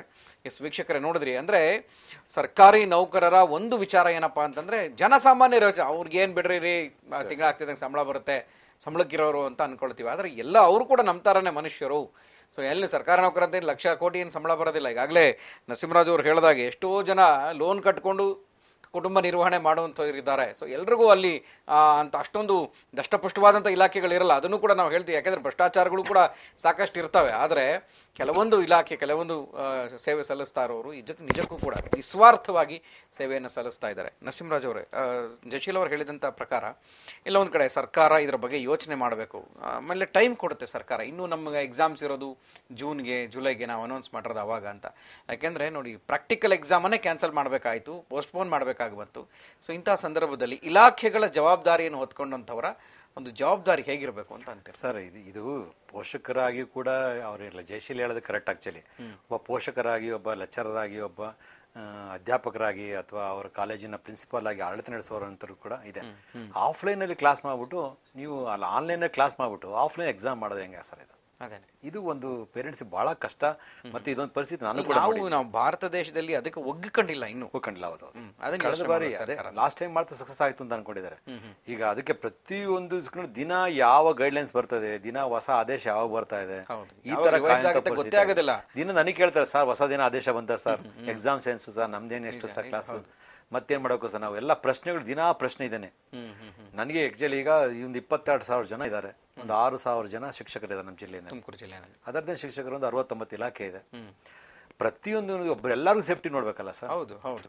ಅವರ ಕುಟುಂಬ ನಿರ್ವಹಣೆ ಇರ್ಬೋದು ಅವ್ರ ತಂದೆ ತಾಯಿ ಇರ್ಬೋದು ಮನೆ ಇರ್ಬೋದು ಮನೆಯಿಂದ ಹೊರಟ್ರೆ ಅವರು ಕಷಾಯ ಕುಡ್ದ ಮನೇಲಿ ಆಫೀಸರ್ ಹುಷಾರು. ಬರೀ ಈ ಮಾತುಗಳು ಅವರು ಅವರು ಸರ್ ನಮ್ಮಲ್ಲಿ ಇದೇ ಇದ್ದಾರೆ ಒಬ್ಬ ಪೇಷಂಟ್ ಬಂದರೆ ಸ್ಯಾನಿಟೈಸರ್ ಮಾಡಿಸಿಲ್ಲ ಸರ್ ಕಚೇರಿಗೆ ಒಳಗೆ ಹೋಗೋದಿಲ್ಲ. ಭಯ ಅದು ಕೋವಿಡ್ ಭಯ ಅಂತೂ ಬಹಳ ಕಾಡ್ತಾ ಇದೆ ಸರ್. ಜಿಲ್ಲಾಡಳಿತ ಆಕ್ಚುಲಿ ಹೇಳ್ತಾರೆ ನಮ್ಮ ನಾನು ಕೂಡ ನೆನ್ನೆನೂ ಕೊಡಿದೆ ಒಂದು ಲಾಸ್ಟ್ ಲಾಕ್ಡೌನ್ ಆದ್ರೆ ಆಲೆ ಆಫೀಸಿಗೆ ಬರೋಕ್ಕೆ ಭಯ. ಆ ಪೊಲೀಸಲ್ಲಿ ಸರ್ ನಮ್ಮ ಪೊಲೀಸರು ಕೇಳ್ತಾರೆ ಸರ್ ಬಿಡೋದಿಲ್ಲ ಸರ್ ನಮ್ಮನ್ನ. ನಾನು ತಕ್ಷಣ ಏನು ಮಾಡಿದೆ ಎಸ್ ಪಿ ಸಾಹೇಬ್ರ ಹತ್ರ ಮಾತಾಡಿ ಸರ್ ನಮ್ಮ ನೌಕರುಗಳು ಯಾರು ಹೊರಗಡೆಯಿಂದ ಬರೋ ಆದರೆ ಹತ್ತಿಂದ ಬರೋ ದಯವಿಟ್ಟು ಅವ್ರಿಗೆ ಯಾವುದೇ ನೀವು ಕಷ್ಟ ಕೊಡ್ದಂಗೆ ಅಂದರೆ ಲಾಠಿ ಚಾರ್ಜ್ ಲಾಠಿಲಿ ಹೊಡೆದಂಗೆ ಅಥವಾ ಅವ್ರಿಗೆ ಘಾಸಿಗೊಳಿಸ್ದಂಗೆ ದಯವಿಟ್ಟು ಅವ್ರನ್ನ ಕಳಿಸ್ಕೊಡಿ ಸರ್ ಅಂತೇಳಿ ನಾನು ಮಾತಾಡಿದ ತಕ್ಷಣ ಡಿ ಸಿ ಅವ್ರಿಗೆ ಮಾತಾಡಿದ್ರು. ಆಕ್ಚುಲಿ ಅನುಮತಿ ಕೊಟ್ಟರು ಈಗ ನಮ್ಮ ಸರ್ಕಾರ ಯಾವುದೇ ಜಿಲ್ಲೆಯಲ್ಲಿ ಯಾವುದೇ ಸರ್ಕಾರಿ ನೌಕರಿಗೆ ಪೊಲೀಸ್ ತೊಂದರೆ ಆಗಿಲ್ಲ ಇವತ್ತವರೆಗೂ. ಎಸ್ ಮತ್ತೊಬ್ರು ಕಾಲ್ ರೆಡಿ ಇದ್ದಾರೆ ಮಾತಾಡೋಣ ಮೂರ್ತಿ ಅಂತ. ಸರ್ ನಮಸ್ತೆ. ಸರ್ ನಮಸ್ಕಾರ. ಸರ್ ಇವತ್ತು ಪ್ಯಾನೆಲ್ನಲ್ಲಿ ಅಮೋಕ್ ಟಿವಿನಲ್ಲಿ ಸರ್ಕಾರಿ ನೌಕರರ ಬಗ್ಗೆ ಮಾತನಾಡ್ತಾ ಇದ್ವಿ. ಈ ಪ್ಯಾಂಡಮಿಕ್ ಸಿಚುಯೇಷನ್ ಅನ್ನ ಹೇಗೆ ಎದುರಿಸ್ತಾ ಇದ್ರು ಸೊ ಹೇಗೆ ಎದುರಿಸ್ತಾ ಇದ್ದವರು ಹಸುನಿಗಿದ್ರು ಸರ್ಕಾರ ಏನ್ ಮಾಡ್ತಾ ಇದೆ ಇದ್ರ ಬಗ್ಗೆ ನಾವು ಮಾತನಾಡ್ತಾ ಇದ್ವಿ. ಜಿಲ್ಲಾಧ್ಯಕ್ಷರು ಕೂಡ ಇದ್ದಾರೆ ನರಸಿಂಹರಾಜು ಅವರು. ಸರ್ ತಮ್ಮ ಪ್ರಕಾರ ಸೊ ಈಗ ನಡೀತಾ ಇರುವಂತಹ ಈ ಅನಿಶ್ಚಿತತೆಯ ಭಯ ಇದೆಯಲ್ಲ ಇದನ್ನ ಸರ್ಕಾರಿ ನೌಕರರ ಮನಸ್ಥಿತಿಯನ್ನ ಒಂದ್ ಕಡೆ ಗಟ್ಟಿಗೊಳಿಸುವಂತ ಕೆಲಸ ಏನಾದ್ರು ಸರ್ಕಾರದಿಂದ ಆಗಿದೆ ಅಂತ ಅನ್ಸುತ್ತಾ ನಿಮಗೆ? ಸರ್ಕಾರದಿಂದ ಅದೇ ಒಗ್ಗು ಧೈರ್ಯ ತುಂಬಾ ಕೆಲಸ ಅಂತೂ ಆಗಿಲ್ಲ ಸರ್ ನಮ್ಮ ನೌಕರರಿಗೆ. ಹ್ಮ್ ಹ್ಮ್ ಹ್ಮ್. ಯಾವ ರೀತಿ ಆಗ್ಬೇಕಾಗಿತ್ತು ಸರ್ ಆಗಿದ್ರೆ ಹಾಸ್ಪಿಟಲ್ ಅವ್ರ ಯಾವ ರೀತಿ ಆಗ್ಬೇಕಾಗಿತ್ತು ಸರ್? ಹೌದು ಆಗ್ಬೋದು. ಧೈರ್ಯ ತುಂಬಾ ಕೆಲಸ ಆಗ್ಬೇಕಾಯ್ತು ಸರ್ ಸರ್ಕಾರದಿಂದ ಎಲ್ಲಾರ್ಗು ಈಗ ತಾವು ವೈದ್ಯಕೀಯ ಕ್ಷೇತ್ರದಲ್ಲಿ ಇರೋದ್ರಿಂದ ಸೊ ಅದ್ರ ಬಗ್ಗೆನೂ ಕೂಡ ಸಾಕಷ್ಟು ಗಮನ ಹರಿಸಬೇಕಾಗಿತ್ತು. ಮೇ ಮುಖ್ಯವಾಗಿರುವಂತಾರೆ ಅವರು ಫ್ರಂಟ್ ಲೈನ್ ವಾರಿಯರ್ಸ್ ಹೌದು ಸರ್. ಸರ್ ಹೇಗೆ ಅಂತ? ಅದು ಫ್ರಂಟ್ ಲೈನ್ ವಾರಿಯರ್ಸ್ ತುಂಬಾ ಕೆಲಸ ಮಾಡ್ತಲೇ ಇದಾರೆ ಬಟ್ ಅವ್ರ ಬಗ್ಗೆ ಯಾರು ಗಮನ ತೋರಿಸ್ತಾ ಇಲ್ಲ ಸರ್. ಮಾಡ್ದಾರೆ ಕೆಲಸ ಮಾಡ್ದಾರೆ ಮಾಡ್ತಲೇ ಇದ್ದೀವಿ. ನಾವೇ ವರ್ಕ್ ಟೆನ್ಷನ್ ಮೇಲೆ ಟೆನ್ಷನ್ ಮಾಡ್ಕೊಂಡು ಕೆಲಸ ಮಾಡ್ತಾ ಇದೀವಿ ಸರ್. ಇಪ್ಪತ್ನಾಲ್ಕ ಅವರು ಡ್ಯೂಟಿ ಹಾಕಿದ್ರು ಡ್ಯೂಟಿ ಮಾಡ್ತಾ ಇರ್ತೀವಿ. ಅದ್ರ ಬಗ್ಗೆ ನಮ್ಮ ಹೆಲ್ತ್ ಡಿಪಾರ್ಟ್ಮೆಂಟ್ ಬಗ್ಗೆ ಮಾತಾಡೋರು ಯಾರು ಇಲ್ಲ. ಹಲೋ ಸರ್ ಹೇಳಿ ಕೇಳಿಸ್ತಾ ಇದೆ. ಈಗ ಹೆಲ್ತ್ ಡಿಪಾರ್ಟ್ಮೆಂಟ್ ಅಂದ ತಕ್ಷಣ ಟ್ವೆಂಟಿ ಫೋರ್ ಅವರ್ಸ್ ಕೆಲಸ ಇದ್ದೇ ಇರುತ್ತೆ. ಸರ್ಕಾರ ಕೂಡ ಆದೇಶ ಕೊಡುತ್ತೆ ನಿಮ್ ಇಲಾಖೆ ಆದೇಶ ಕೊಡ್ತಾರೆ ಮಾಡ್ಲೇಬೇಕು ಅಂತ. ಇಲ್ಲಾಂದ್ರೆ ಎಸ್ಮಾ ಮಾಡ್ತೀವಿ ಸ್ಟ್ರೈಕ್ ಮಾಡಿದ್ರೆ ಇನ್ನೇನೋ ಅಂತ ಹೇಳ್ತಾರೆ. ಸರ್ ಹಾ ಅಲ್ವೇ? ಯಾಕಂದ್ರೆ ದೇವರಿಗೆ ಸಮಾನ ಸರಿ ಸಮಾನವಾಗಿ ನೀವು ಕೆಲ್ ಇನ್ನೂ ಒಂದು ಹೆಜ್ಜೆ ಮೇಲೇನೆ ಕೆಲಸ ಮಾಡ್ತಿದ್ದೀರಿ ನೀವು. ನೀವೇ ಪ್ರತ್ಯಕ್ಷ ದೇವರಿಗ. ಹೆಲ್ತ್ ಡಿಪಾರ್ಟ್ಮೆಂಟ್ ಅವರು. ಸೊ ಇಂಥ ಸಂದರ್ಭದಲ್ಲಿ ಹೆಲ್ತ್ ಡಿಪಾರ್ಟ್ಮೆಂಟ್ ಅವರಿಗೆ ರಿಸ್ಕ್ ಅಲೈನ್ಸ್ ಏನಾದ್ರು ಕೊಟ್ರೆ ಸರ್ಕಾರಿ ನೌಕರಿ ತುಂಬಾ ಅನುಕೂಲ ಆಗುತ್ತೆ ಅಂತ ನನ್ನ ಅಭಿಪ್ರಾಯ ನಿಜ ಬೇರೆ ಎಲ್ಲರಿಗೂ ರಿಸ್ಕ್ ಅಲೈನ್ಸ್ ಕೊಡ್ಬೇಕು ಅಂತಾರೆ ಅದು ಸರ್ಕಾರಿ ನೌಕರಿ ಇವ್ರಿಗೆ ಆರೋಗ್ಯ ಇಲಾಖೆಗೆ ಯಾವ್ದೇ ರಿಸ್ಕ್ ಅಲೈನ್ಸ್ ಕೊಡ್ತಾ ಇಲ್ಲ. ತುಂಬಾ ರಿಸ್ಕ್ ಅಲ್ಲಿ ಕೆಲಸ ಮಾಡ್ತಾ ಇರ್ತಾರೆ ಅವರು. ನಿಜ ನಿಜ ನಿಜ. ನೋಡಿ ಈಗ ಕೆಲಸ ಮಾಡ್ತಾ ಮಾಡ್ತಾನೆ ಅನೇಕರು ಸಾವನ್ನಪ್ಪಿದ್ದಾರೆ ಸರ್. ಸೊ ಹಾಗಾಗಿ ಇದನ್ನ ಗಂಭೀರವಾಗಿ ಪರಿಗಣಿಸ್ಬೇಕು ಸರ್ಕಾರ ಅಂತ. ಹೌದು ಸರ್ ಗಂಭೀರವಾಗಿ ಪರಿಗಣಿಸ್ಬೇಕು. ತುಂಬಾ ನಮ್ಮ ನೌಕರರೇ ತುಂಬಾ ಸಫರ್ ಆಗಿ ಹೋಗ್ತಾ ಇದ್ದಾರೆ ಸರ್. ಹ್ಮ್ ಹ್ಮ್ ಹ್ಮ್ ಹ್ಮ್ ಹ್ಮ್ ಹ್ಮ್.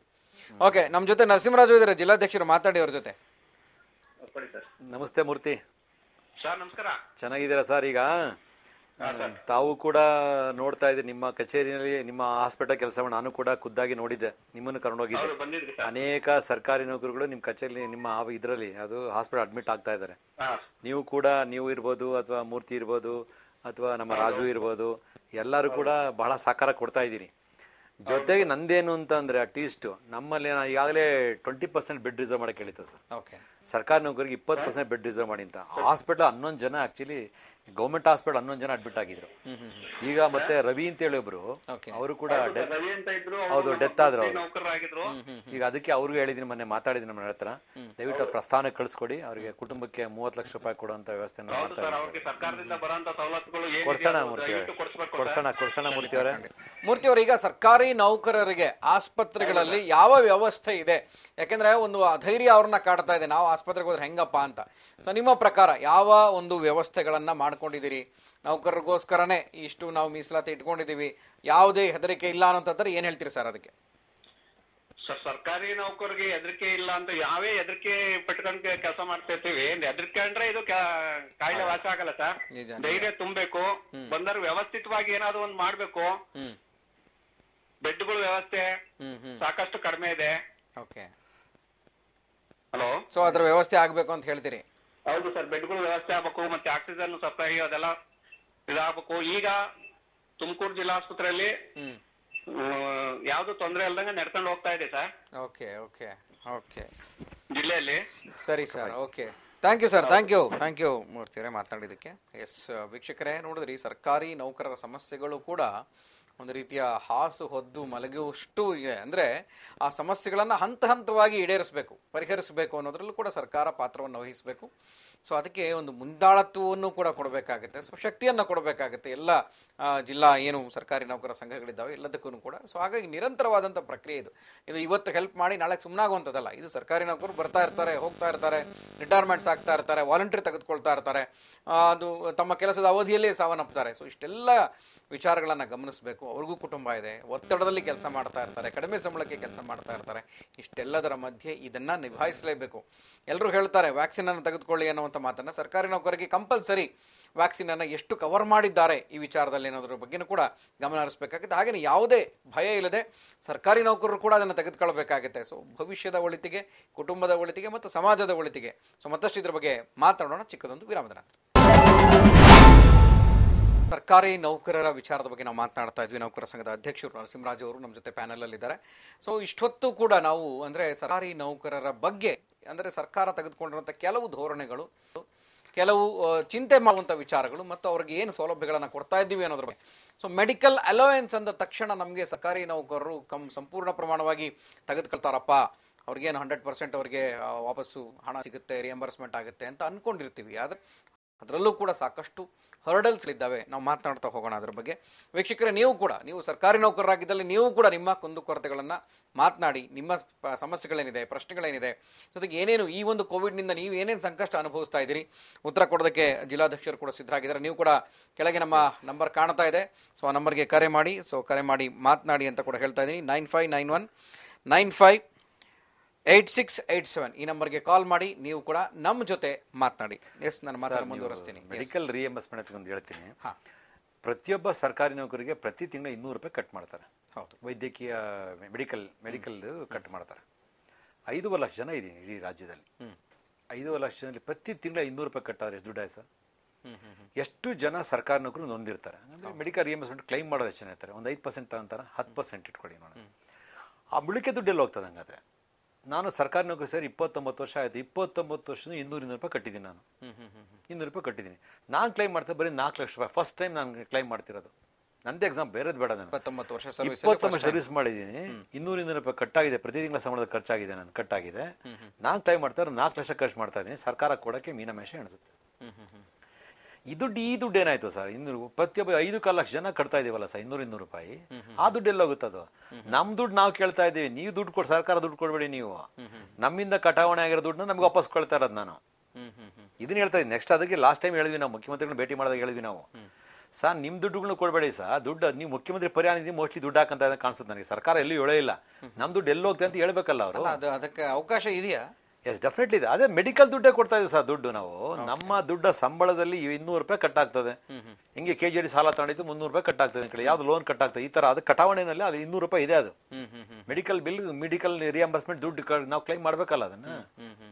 ನಿಮ್ಮ ದುಡ್ಡನ್ನ ನೀವು ಕೊಡಬೇಡಿ ಸರ್ ನಿಮಗೆ. ನನ್ನ ದುಡ್ಡು ನಮ್ಗೆ ವಾಪಸ್ ಕೊಡಿ ನಾನು ನಾನು ಕಟ್ಟಾಗಿರೋ ದುಡ್ಡು ಕೊಡ್ಕೊಳ್ತಾರೆ ನಾನು. ಓಕೆ ಒಂದು ಕಚೇರಿ ನಲ್ವತ್ತು ಜನ ಸಂಬಳದ ಇನ್ನೂರು ಇನ್ನೂರು ರೂಪಾಯಿ ಹೋಯ್ತು ಒಂದು ಎಕ್ಸಾಂಪಲ್ ಒಂದು ಕಚೇರಿ ಹೇಳ್ತೀನಿ. ನನ್ನ ಕಚೇರಿ ಐವತ್ತು ಜನ ಇದ್ದಾರೆ ಐವತ್ತು ಜನ ಇನ್ನೂರು ರೂಪಾಯಿ ಕಟ್ ಆಗ್ತದೆ ಐವತ್ತು ಜನ ಯಾರು ಕ್ಲೈಮ್ ಮಾಡ್ತಾರೆ ನಮ್ಮ ಆಫೀಸಲ್ಲಿ ನಿಜ ನಿಜ ನಿಜ. ಅಪರೂಪಕ್ಕೆ ನಾನು ಒಂದು ಇಪ್ಪತ್ತೊಂಬತ್ತು ವರ್ಷ ಆದ್ಮೇಲೆ ಕ್ಲೈಮ್ ಮಾಡಿದ್ದೀನಿ. ಸರ್ ಫಸ್ಟ್ ಟೈಮ್ ಲೈಫಲ್ಲಿ ನಾನು ಕಳ್- ಕೇಳಿರೋದು ನಾನು.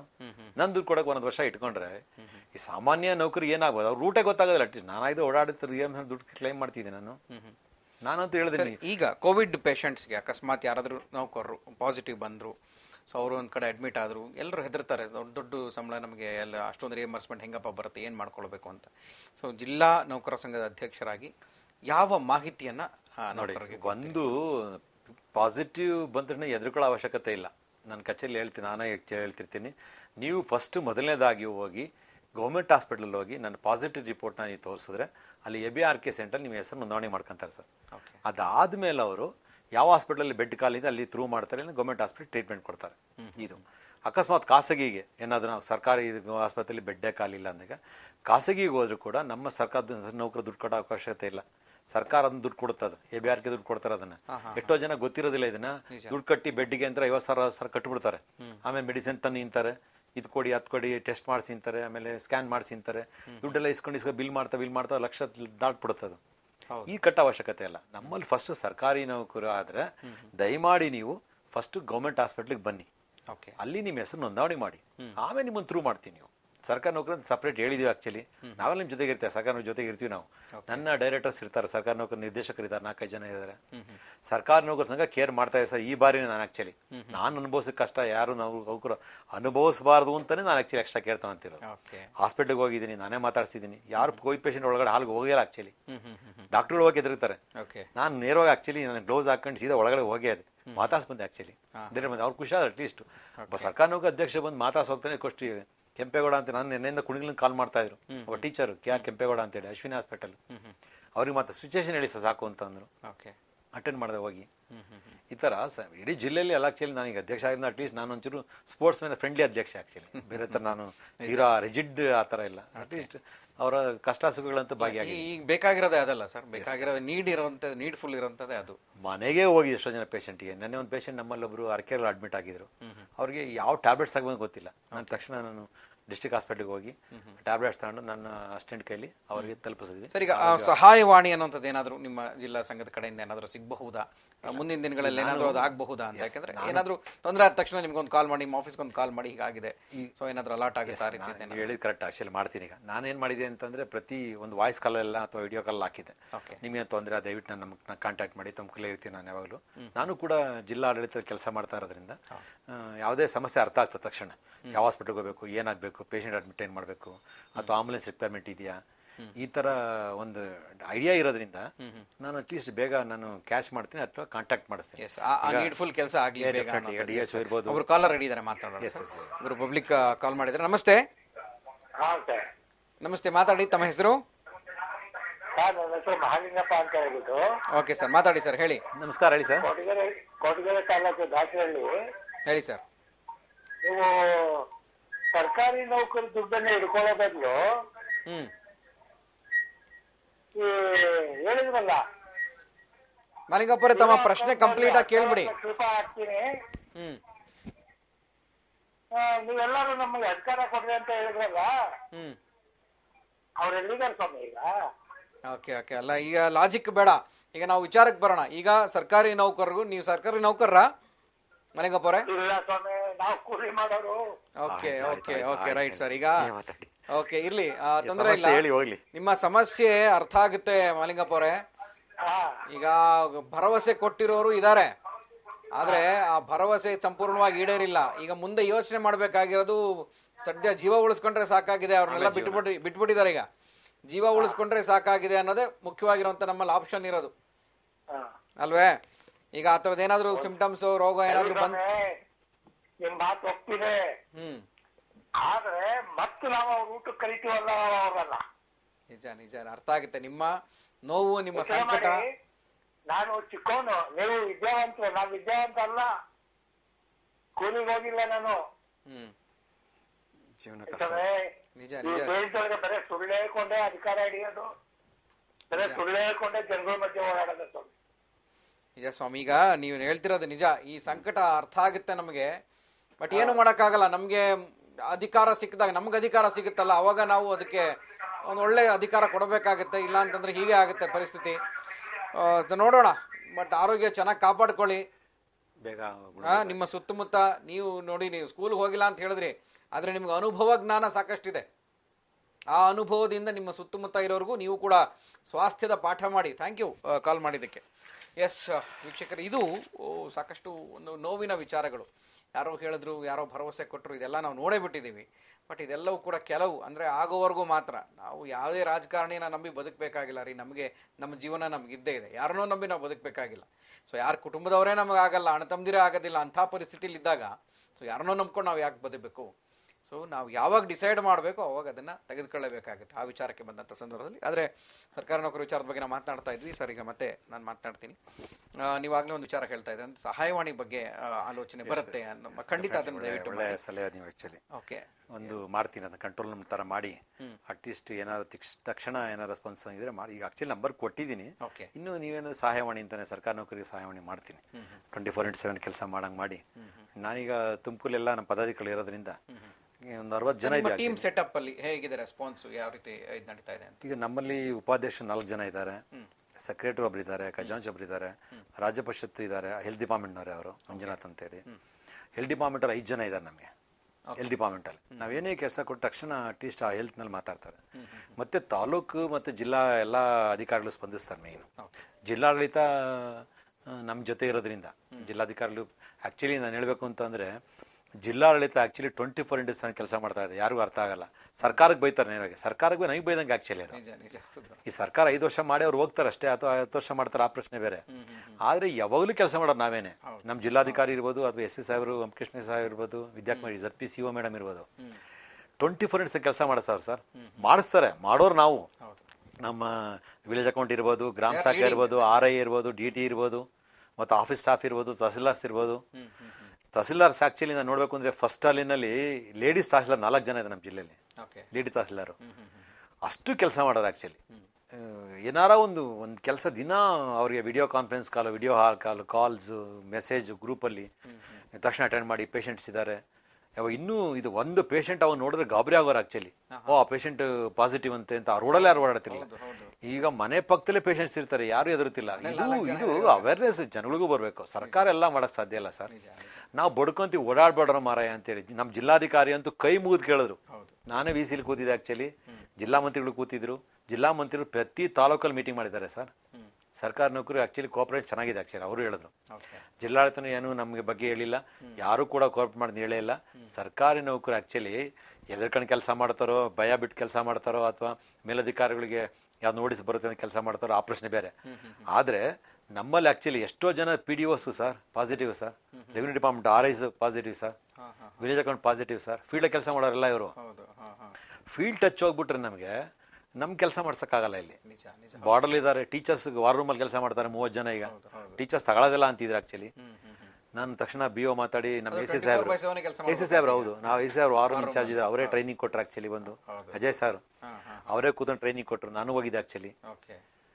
ಇದೇ ರೀತಿ ಈಗ ಅವರೇ ಎಸ್ ಪಿ ಸಾಹೇಬ್ರು ಡಿ ಸಾಹೇಬ್ರು ಆಕ್ಸಿಜನ್ ಸೆಂಟರ್ಗೆ ಹೋದ್ರು. ಎಷ್ಟೆಲ್ಲ ಒಳಗೆ ಎಷ್ಟೆಲ್ಲ ಕೆಲಸ ನಡೀತಾ ಇದೆ. ನಮ್ಮ ಜಿಲ್ಲೆಯಲ್ಲಿ ಆಕ್ಚುಲಿ ಹೇಳ್ಬೇಕು ಅಂತಂದ್ರೆ ಆಕ್ಸಿಜನ್ ಸಮಸ್ಯೆ ಆಗಿದ್ದು ಅಂತ ನಮ್ದೇನೆ ಸರ್. ಆಗೋದಿಲ್ಲ ಯಾಕೆಂದ್ರೆ ಈಗಲೂ ಹೇಳ್ತೀನಿ ಆಗೋದಿಲ್ಲ ಇಲ್ಲಿ. ಶಾರ್ಟೇಜ್ ಆಗ ಸಾಧ್ಯನೇ ಇಲ್ಲ. ಜಿಲ್ಲಾಧಿಕಾರಿಗಳು ಆಕ್ಸಿಜನ್ ಸೆಂಟರ್ಗೆ ಹೋದ್ರು. ಫ್ಯಾಕ್ಟ್ರಿಗೂ ಇಂಡಸ್ಟ್ರಿ ಅಂತ ಇದೆ ಅಮೋಘ್ ಅಂತೇಳಿ. ಅಲ್ಲೋ ರಿಟೇಲ್ಗೆ ಹೋದ್ರು. ಪದ್ಮಶ್ರೀ ಅಂತ ಇನ್ನೊಂದು ರೆಡಿ ಇದೆ. ಅಲ್ಲಿ ಎಷ್ಟು ಖರ್ಚಾಗ್ತಾ ಇದೆ ಅಲ್ಲೆಲ್ಲಿಂದ ಹೋಗ್ತಾ ಇದೆ. ಪ್ರತಿಯೊಬ್ಬರು ಪೊಲೀಸ್ ಕಾಲ್ ಹಾಕಿದ್ದಾರೆ ಸರ್ ಎಸ್ ಪಿ ಅವರು. ಓಕೆ ಗ್ಯಾಸ್ ನಮ್ಮಲ್ಲಿ ಪಾಸ್ ಆಗ ಸಾಧ್ಯನೇ ಇಲ್ಲ ಶಾರ್ಟೇಜ್ ಸಾಧ್ಯ ಇಲ್ಲ. ಪ್ರತಿ ಸರಿ ಎವ್ರಿ ಟೂ ಅವರ್ಸ್ ರಿಪೋರ್ಟ್ ಆಗ್ತಾರೆ ಸರ್. ಎಷ್ಟು ಸಿಲಿಂಡರ್ ಎಂಟಿ ಇದೆ ಎಷ್ಟು ಸಿಲಿಂಡರ್ ಫಿಲ್ ಆಗಿದೆ ಎಷ್ಟು ಈಗ, ಸಾಗಾಣಿಕೆ ಆಗ್ತಾ ಇದೆ ಎಷ್ಟು ಅಲ್ಲಿ ಫಿಲ್ ಆಗಿ ವಾಪಸ್ ಬರ್ತಾ ಇದೆ. ಈ ರೀತಿ ನಂಬರ್ ಯಾವ ಗಾಡಿ ಹೋಗ್ತಾ ಇದೆ ಅಲ್ಲಿ ಫಿಲ್ ಆಯ್ತಾ ಅಲ್ಲಿ ವಾಪಸ್ ತಲುಪ್ತಾ ಅಲ್ಲಿ ನೋಡಲ್ ಆಫೀಸರು ಅದಕ್ಕೆ ನೋಡಲ್ ಆಫೀಸರ್ ಆಕ್ಸಿಜನ್ಗೆ ಆ್ಯಕ್ಚುಲಿ ಹಾರಿಬಲ್ ತುಮಕೂರು ಕೋವಿಡ್ ನಾವು ಕಡಿಮೆ ಮಾಡಕ್ಕೆ ಸಖತ್ ಹೋರಾಟ ಮಾಡ್ತಿದ್ದೀವಿ. ನಿನ್ನೆ ಆ್ಯಕ್ಚುಲಿ ಇವತ್ತು ಸಾವಿರದ ಆರುನೂರು ಬಂದಿದೆ ಸರ್. ನಿನ್ನೆ ಎರಡು ಸಾವಿರದ ನಾನ್ನೂರು ಇತ್ತು ನಾನು ಇವತ್ತು ಸಾವಿರದ ಆರುನೂರು ಎಂಟುನೂರು ಕಡಿಮೆ ಮಾಡಿದ್ದೀವಿ. ಅವೇರ್ನೆಸ್ ಬರ್ತಾ ಬರ್ತಾ ಆಕ್ಚುಲಿ ಕಡಿಮೆ ಆಗ್ತದೆ. ಯಾರೋ ಅಡ್ಡ ಇನ್ನೂ ಹೇಳ್ತಾ ಇದ್ದೀನಿ ಆಕ್ಚುಲಿ ಸರ್ಕಾರ ನೌಕರು ಕೆಲಸ ಮಾಡ್ತಾ ಇದ್ದೀವಿ. ನಾವು ಭಯ ಬಿಟ್ಟು ಕೆಲಸ ಮಾಡ್ತಾ ಇದೀವಿ ಸರ್. ಕೋಆಪರೇಷನ್ ಚೆನ್ನಾಗಿದೆ ಆಕ್ಚುಲಿ ಆದ್ರೆ ನಮಗೆ ಸವಲತ್ತು ವಿಚಾರ ಬಂದು ಎರಡು ತರ ಬೈಫಿಕೇಶನ್ ಈ ಡಾಕ್ಟರ್ಸ್ ಆಕ್ಚುಲಿ ನೋಡಿಬೋದು ಪಿ ಪಿ ಕಿಟ್ ಹಾಕೊಂಡು ಟ್ವೆಂಟಿ ಫೋರ್ ಇಂಟು ಕೆಲಸ ಮಾಡ್ತಾರೆ. ಈಗ ಕಾಲ್ ಮಾತಾಡಲ್ಲ ಮೂರ್ತಿಯವರು ಅಲ್ಲೇ ಕೆಲಸ ಮಾಡ್ತಾರೆ. ಕಳ್ಕೊಂಡಿದ್ದೀವಿ ಇಬ್ಬರು ಅಲ್ಲೇ ಅಲ್ಲಿ ನಾವು. ಇಲ್ಲಿ ಗೌರ್ಮೆಂಟ್ ಹಾಸ್ಪಿಟಲ್ ಕಳ್ಕೊಂಡು ಬೇರೆ ಕಡೆ ಇಲ್ಲ. ಟೀಚರ್ಸ್ ಕಳ್ಕೊಂಡಿದ್ದೀವಿ ನೋಡಿಬೋದು ನೀವು. ಗೌರ್ಮೆಂಟ್ ಹಾಸ್ಪಿಟಲ್ ಕೆಲಸ ಮಾಡೋನಿಗೆ ರಕ್ಷಣೆ ಇಲ್ಲ ಅಂತ ಅಂದ್ಮೇಲೆ. ನಿಜ ಸರ್ ಅದೇ ರಿಸ್ಕಿ ಫಂಡ್ ಅಷ್ಟಿಲ್ಲ ಅವರಿಗೆ. ದೀಪದ ಕೆಳಗೆ ಕತ್ಲಾಗ್ಬಿಟ್ರೆ ನಾವು ಅದನ್ನೇ ಕೆಲ್ಸ ಕೇಳ್ತಾ ಇರೋದು ಅಂತ. ನೀವು ದಯಮಾಡಿ ನೀವು ಹೆಲ್ತ್ ವಾರಿಯರ್ಸ್ ರೆವಿನ್ಯೂ ಇರ್ಬೋದು ಹೆಲ್ತ್ ಇರ್ಬೋದು ಮತ್ತೆ ಆರ್ ಡಿ ಪಿ ಆರ್ ಇರ್ಬೋದು ಶಿಕ್ಷಕರು ಯಾರು ಕೆಲಸ ಮಾಡ್ತಾರೆ ಅವ್ರು ಇರ್ಬೋದು ಬಾರ್ಡರ್ ಕೆಲಸ ಪೊಲೀಸ್ ಇರ್ಬೋದು. ನೀವು ರಕ್ಷಣೆ ಎಕ್ಸ್ಟ್ರಾ ಕೊಡಿ ಸರ್ ಅಟ್ಲೀಸ್ಟ್ ಅವರಿಗೆ. ಕಾನ್ಫಿಡೆನ್ಸ್ ಬೇಕಲ್ಲ ಅವ್ರಿಗೆ. ನಿಜ ನಿಜ. ಕಾನ್ಫಿಡೆನ್ಸ್ ಹೇಳೋರು ಯಾರು? ಇದು ನನಗೆ ಬೇಕಾಗಿರೋದು ಅಟ್ಲೀಸ್ಟ್ ನೀವು ಕಾನ್ಫಿಡೆನ್ಸ್ ಹೇಳಿ ಅವ್ರಿಗೆ ಮಾಡ್ತಾರೆ ಕೆಲಸನ ನೀವು. ಎಸ್ ಸರ್ಕಾರದಿಂದ ಒಂದು ರಕ್ಷಣೆಯ ಭರವಸೆ ಬೇಕಾಗಿದೆ. ಅಷ್ಟು ಸಿಕ್ಕಿದ್ರೆ ಸಾಕು. ಇದು ಜಿಂಕೆ ಕೆಲಸ ಮಾಡೋ ಹಾಗೆ ಜಿಂಕೆ ಆರುತ್ತಲ್ಲ ಆ ರೀತಿಯಾಗಿ ಸರ್ಕಾರ ನೌಕರು ಕೆಲಸ ಮಾಡೋದಕ್ಕೆ ಸಿದ್ಧರಾಗಿದ್ದಾರೆ. ಸೊ ಆ ರಕ್ಷಣೆ ಮತ್ತು ಆ ರಕ್ಷಣೆಯ ಜವಾಬ್ದಾರಿ ಕೇವಲ ಭರವಸೆ ಆಗಿರಬಾರದು ರಕ್ಷಣೆಯ ಜವಾಬ್ದಾರಿಯನ್ನು ಕೂಡ ಸರ್ಕಾರ ತೆಗೆದುಕೊಳ್ಬೇಕು. ಪ್ರತಿಯೊಂದು ಇಲಾಖೆಗಳು ಕೂಡ ತೆಗೆದುಕೊಳ್ಬೇಕು. ಅದು ಮಾನಿಟರಿಂಗ್ ಆಗಬೇಕು. ನೋಡಿ ಈಗ ಅಧ್ಯಕ್ಷರು ಹೇಳಿದಾಗೆ ಎಲ್ಲ ಇಲಾಖೆಗಳಲ್ಲಿಯೂ ಕೂಡ ಕೆಲಸ ನಡೀತಾ ಇದೆ. ಜಿಲ್ಲಾಧಿಕಾರಿಗಳು ಸಿ ಇಒ ಆಗಿರಬಹುದು ಎಸ್ ಪಿ ಆಗಿರಬಹುದು. ನೋಡಿ, ಆ- ಸೆಟ್ಟಿಂಗ್ಸ್ ಸಾಕಷ್ಟು ಕೆಲಸಗಳನ್ನು ಮಾಡ್ತಾ ಇದೆ. ಇದು ಹೊರಗಡೆ ಗೊತ್ತಾಗೋ ಗೊತ್ತಾಗಿರುವಂಥ ವಿಚಾರ. ಆದರೆ ಒಳಭಾಗದಲ್ಲಿ ಸಾಕಷ್ಟು ಕೆಲಸಗಳು ನಡೀತಾ ಇದೆ. ಸೊ ಇದರಲ್ಲಿ ಎಲ್ಲರ ಪಾಲು ಕೂಡ ಇದೆ. ಸೊ ಹಾಗಾಗಿ ಸರ್ಕಾರಿ ನೌಕರರು ಪ್ರಾಣವನ್ನೂ ಕೂಡ ಲೆಕ್ಕಿಸದೆ ಕೆಲಸ ಮಾಡ್ತಾ ಇದ್ದಾರೆ. ಇದಕ್ಕೆ ಗೌರವಿಸಬೇಕು. ಸೊ ಈ ಗೌರವ ಅವರಿಗೆ ಲಭ್ಯ ಆಗಬೇಕು ಅನ್ನೋದು ಇವತ್ತಿನ ಚರ್ಚಾ ವಿಚಾರ. ಮತ್ತಷ್ಟು ಇದರ ಬಗ್ಗೆ ಮಾತಾಡ್ತೀನಿ. ಚಿಕ್ಕದೊಂದು ವಿರಾಮದ ನಂತರ. ವೆಲ್ಕಮ್ ಬ್ಯಾಕ್ ಅಮೋಕ್ ಟಿವಿಯ ಈ ಒಂದು ವಿಶೇಷ ಚರ್ಚೆಗೆ ಮತ್ತೊಮ್ಮೆ ನಿಮ್ಮೆಲ್ಲರಿಗೂ ಆತ್ಮೀಯ ಸ್ವಾಗತ. ನಾವು ಸರ್ಕಾರಿ ನೌಕರ ವಿಚಾರದ ಬಗ್ಗೆ ಮಾತನಾಡ್ತಾ ಇದ್ವಿ. ಸೊ ಹೀಗಿದ್ದಾಗ ಒಂದು ಕಡೆ ಕೋವಿಡ್ ನೈನ್ಟೀನ್ ಎರಡನೇ ಅಲೆ ಮತ್ತು ಮೂರನೇ ಅಲೆಯ ಬಗ್ಗೆನೂ ಕೂಡ ಈಗಾಗಲೇ ಸಾಕಷ್ಟು ಎಕ್ಸ್ಪರ್ಟ್ಸ್ಗಳು ಒಂದು ಆತಂಕದ ವರದಿಯನ್ನು ಈಗಾಗಲೇ ಮುಂದೆ ಇಟ್ಟಿದ್ದಾರೆ. ಸೊ ಹೀಗಿದ್ದಾಗ, ನಾವು ಇನ್ನು ಸ್ವಲ್ಪ ದಿನ ಕಡಿಮೆ ಆಗುತ್ತೆ ಅಥವಾ ಇನ್ನೊಂದು ತಿಂಗಳಿಗೆ ಕಡಿಮೆ ಆಗುತ್ತೆ, ನಾವು ಅಷ್ಟರೊಳಗೆ ಆರೋಗ್ಯ ಸುಧಾರಿಸ್ಕೊಳ್ಳೋಣ, ಆರೋಗ್ಯವನ್ನು ತುಂಬ ಜಾಗರೂಕರಾಗಿ ಇಟ್ಕೊಳ್ಳೋಣ ಅಂತ ಹೋದರೂ ಕೂಡ ಸರ್ಕಾರಿ ಸೇವೆ ಮಾಡಲೇಬೇಕು. ಸರ್ಕಾರದ ಕೆಲಸ ದೇವರ ಕೆಲಸ. ಸೊ ದೇವರ ಕೆಲಸನ ನಾವು ಮೋಸ ಮಾಡೋ ಹಾಗಿಲ್ಲ. ಸೊ ಹೀಗಿದ್ದಾಗ ಸರ್ಕಾರಿ ನೌಕರರಿಗೆ ಯಾವೆಲ್ಲ ರೀತಿಯ ಸೌಲಭ್ಯಗಳು ಇದ್ದಾವೆ ಅನ್ನೋದ್ರ ಬಗ್ಗೆ ಕೂಡ ನಾವೀಗ ಮಾತನಾಡಿದ್ವಿ. ಸರಿನ ನಾವು ಭರವಸೆ ಅನ್ನುವಂಥದ್ದಾದರೆ ಒಂದು ಧೈರ್ಯ ತುಂಬುವಂಥ ಕೆಲಸ ಆಗಬೇಕು. ಜಿಲ್ಲಾ ಸರ್ಕಾರಿ ನೌಕರಿ ಎಲ್ಲ ಇಲಾಖೆಗಳವರಿಗೆ. ಸೊ ಈಗಾಗಲೇ ಸಾಕಷ್ಟು ವಿಚಾರ ನೀವು ಹೇಳಿದ್ರಿ. ಸರ್ಕಾರಿ ಆಸ್ಪತ್ರೆಗಳಲ್ಲಿ ನಿಮಗೆ ಸಲಹೆ 20% ಸಿಗುತ್ತೆ.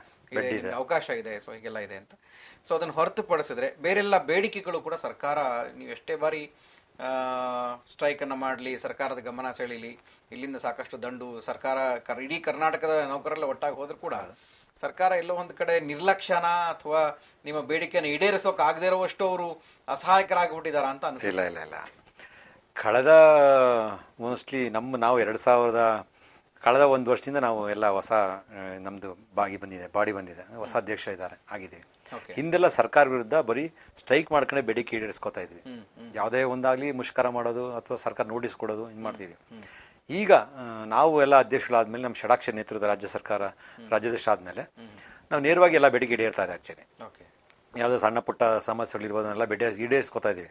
ಆದರೆ ಫೈನಾನ್ಷಿಯಲಿ ಬಂದಾಗ ಒಂದು ಸ್ವಲ್ಪ ಸರ್ಕಾರ ಹಿಂದೆ ಒಂದು ನೋಡಬೇಕಾದ ಪರಿಸ್ಥಿತಿ ಇದೆ. ವೇತನ ಕೊಡೋಕ್ಕಾಗ್ತಿಲ್ಲ ಸರಿಯಾದ ಸಮಯಕ್ಕೆ. ಹೆಲ್ತ್ ಡಿಪಾರ್ಟ್ಮೆಂಟ್ ಇರ್ಬೋದು ಎಜುಕೇಷನ್ ಇರ್ಬೋದು. ಒಂದು ನಾಲ್ಕೈದು ಇಲಾಖೆ ಬೇಗ ಸಂಬಳ ಆಗ್ತದೆ. ಅದೆಲ್ಲ ಸಂಬಳ ಕಾಯುವಂಥ ಪರಿಸ್ಥಿತಿ ಬಂದಿದೆ. ಹಿಂದೆಲ್ಲ ಈಗ ಆ ಥರ ಆಗ್ತಿರ್ಲಿಲ್ಲ. ಇದು ನಿವಾರಣೆ ಮಾಡಬೇಕು ಅಂತೇಳಿ ವೇತನವನ್ನು ಬೇಗ ಕೊಡಿ ಅಂತ ಹೇಳಿದ್ದೀವಿ ಯಾಕೆಂದರೆ ಒಂದು ದಿವಸ ನಮಗೆ ಹತ್ತು ತಾರೀಕೊಳಗೆ ವೇತನ ನಮ್ಮ ಡ್ರಾ ಆಗದೆ ಹೋದರೆ ನಾವು ಲೋನ್ ಇರ್ತದಲ್ಲ ಅಲ್ಲಿ ಪರ್ಸೆಂಟ್ ಬಡ್ಡಿ ಹಾಕ್ತಾರೆ. ಈ ಪರಿಸ್ಥಿತಿ ಭಾಳ ಕಷ್ಟ ಆಗ್ತದೆ ನಮಗೆ. ಮುನ್ನೂರು ರೂಪಾಯಿ ನಾನ್ನೂರು ರೂಪಾಯಿ ಎಲ್ಲ ಹಾಕ್ತಾರೆ ಬೌನ್ಸ್ ಅಂತ ಕೊಡ್ತಾರೆ. ಬೌನ್ಸ್ ಅಂತ ಕೊಡ್ತಾರೆ. ಇದೊಂದಿದೆ. ನಮ್ದು ಜಾಸ್ತಿ ಬೇಡಿಕೆ ಉಳಿಲ್ಲ ಸರ್ಕಾರ ಮುಂದೆ ಈಗ. ಸದ್ಯಕ್ಕೆ ಒಂದು ಕೇಂದ್ರ ಸರಿ ಸಮಾನ ವೇತನ ಆಗಬೇಕು. ಎರಡನೇದು ಎನ್ ಪಿ ಎಸ್ ರದ್ದತಿ ಆಗಬೇಕು. ಎನ್ ಪಿ ಎಸ್ ರದ್ದತಿ ಆದರೆ ಎಷ್ಟೋ ಜನ ಆ್ಯಕ್ಚುಲಿ ರಿಟೈರ್ಡ್ ಆದಮೇಲೆ ಆ ಜೀವನ ಭಾಳ ಕಷ್ಟ ಆಗ್ತದೆ ಸರ್. ಸರ್ಕಾರಕ್ಕೆ ಪೆನ್ಷನ್ ಇಲ್ಲ ಅಂದ್ರೆ ಏನು ಮಾಡ್ಬೇಕು? ಮನೇಲಿ ಸೇರಿಸಲ್ಲ ಆ್ಯಕ್ಚುಲಿ ಅವ್ರು. ಊಟ ಹಾಕೋದಿಲ್ಲ ನೆಕ್ಸ್ಟು ಸರ್ಕಾರಿ ನೌಕರಿ ರಿಟೈರ್ಡ್ ಆದಮೇಲೆ ಎನ್ ಪಿ ಎಸ್ ಯಾರು ಇರ್ತಾರೆ ಅವರಿಗೆ ಮನೇಲಿ ಊಟ ಹಾಕೋದಿಲ್ಲ ಅವರಿಗೆ. ಇಂಥ ಪರಿಸ್ಥಿತಿ ಬರ್ತದೆ. ಪೆನ್ಷನ್ ಇದ್ರೆ ಇಟ್ಕೊಂತಾರೆ ಅವ್ರನ್ನ. ಯಾಕೆ ಯಾರು ಇಟ್ಕೊತಾರೆ ಮನೆ ಕೆಲಸ ಕೊಡ್ತಾರೆ ಹೌದು ಏನಿಲ್ಲ ಈಗ ಲಾಭ ಇಲ್ಲ ಅಂದ್ರೆ ಯಾರಾಗಲ್ಲ ಮನೇಲಿ ದುಡಿಬೇಕು ಎಲ್ಲ ದುಡಿಬೇಕು ಸರ್ ಈಗಿನ ಪರಿಸ್ಥಿತಿನಲ್ಲಿ. ಮೊದಲು ಮನೇಲಿ ಒಬ್ಬರು ದುಡಿಯೋರು ನಾಲ್ಕು ಜನ ಊಟ ಮಾಡೋರು ಸರ್. ಈಗ ಮನೆ ಮಂದಿರ ದುಡಿಬೇಕಾದ ಪರಿಸ್ಥಿತಿ ಇದೆ ಈಗ. ಈಗಿನ ಖರ್ಚು ಹಂಗೆ ಇರ್ತದೋ ಅಥವಾ ಜೀವನ ಶೈಲಿ ಹಂಗೆ ಇದೆ, ನಂಗಂತೂ ಅರ್ಥ ಆಗ್ತಿಲ್ಲ ಎಲ್ಲ ಹಂಗೆ ಆಗ್ತಿದೆ ಸರ್. ಮನೇಲಿ ಪೋಷ್ ಪೋಷಕರು ಊರಲ್ಲಿ ಹಳ್ಳಿಲಿ ಇರ್ತಾರೆ ಅವ್ರಿಗೆ ದುಡ್ಡು ಕಳಿಸ್ಬೇಕು. ಎಲ್ಲಿ ಎಂಥ ಪರಿಸ್ಥಿತಿ ಸರ್ಕಾರಿ ನೌಕರಿಗೆ ಆಗ್ತಿದೆ ಅಂತಂದ್ರೆ ಅವ್ನು ಹೇಳ್ಕೊಳಂಗಿಲ್ಲ ಬಿಡಂಗಿಲ್ಲ ಸರ್. ಅವನ ಜೀವನ ಪರಿ ರಿಟೈರ್ಡ್ ಆಗೋ ದುಡ್ಡನ್ನ ಅವನು ಬರೀ ಸಾಲ ಕಟ್ಟಿ ವಾಪಸ್ ಹೋಗ್ಬೇಕೇ ವಿನಃ ಅವ್ನು ಕಾಸು ಇರೋದಿಲ್ಲ ನೆಕ್ಸ್ಟ್ ಎನ್ ಪಿ ಎಸ್ ರದ್ದು ಆಗಲೇಬೇಕು ಸರ್ ಅದು. ಅದೊಂದು ಭಾಳ ದಿನದ ಕನಸಿದೆ ಮತ್ತೆ ಬೇಡಿಕೆ ಇದೆ. ಭಾಳಷ್ಟು ಜನ ಸರ್ಕಾರಿ ನೌಕರಿ forty percent N P S ರದ್ದತಿ ಕೇಳ್ತಾ ಇದ್ದಾರೆ ಸರ್. ಎನ್ ಪಿ ಎಸ್ನವರು ಇದ್ದಾರೆ. ಓಕೆ ಪೆನ್ಷನ್ಸ್ ಕಡಿಮೆ ಆಗ್ತಿದ್ದಾರೆ. ಮುಂದೆ ಪೆನ್ಷನ್ ಕಡಿಮೆ ಆಗ್ತಾ ಎನ್ ಪಿ ಎಸ್ ಅಡಿಷನ್ ಆಗ್ತಾ ಇರ್ತಾರೆ.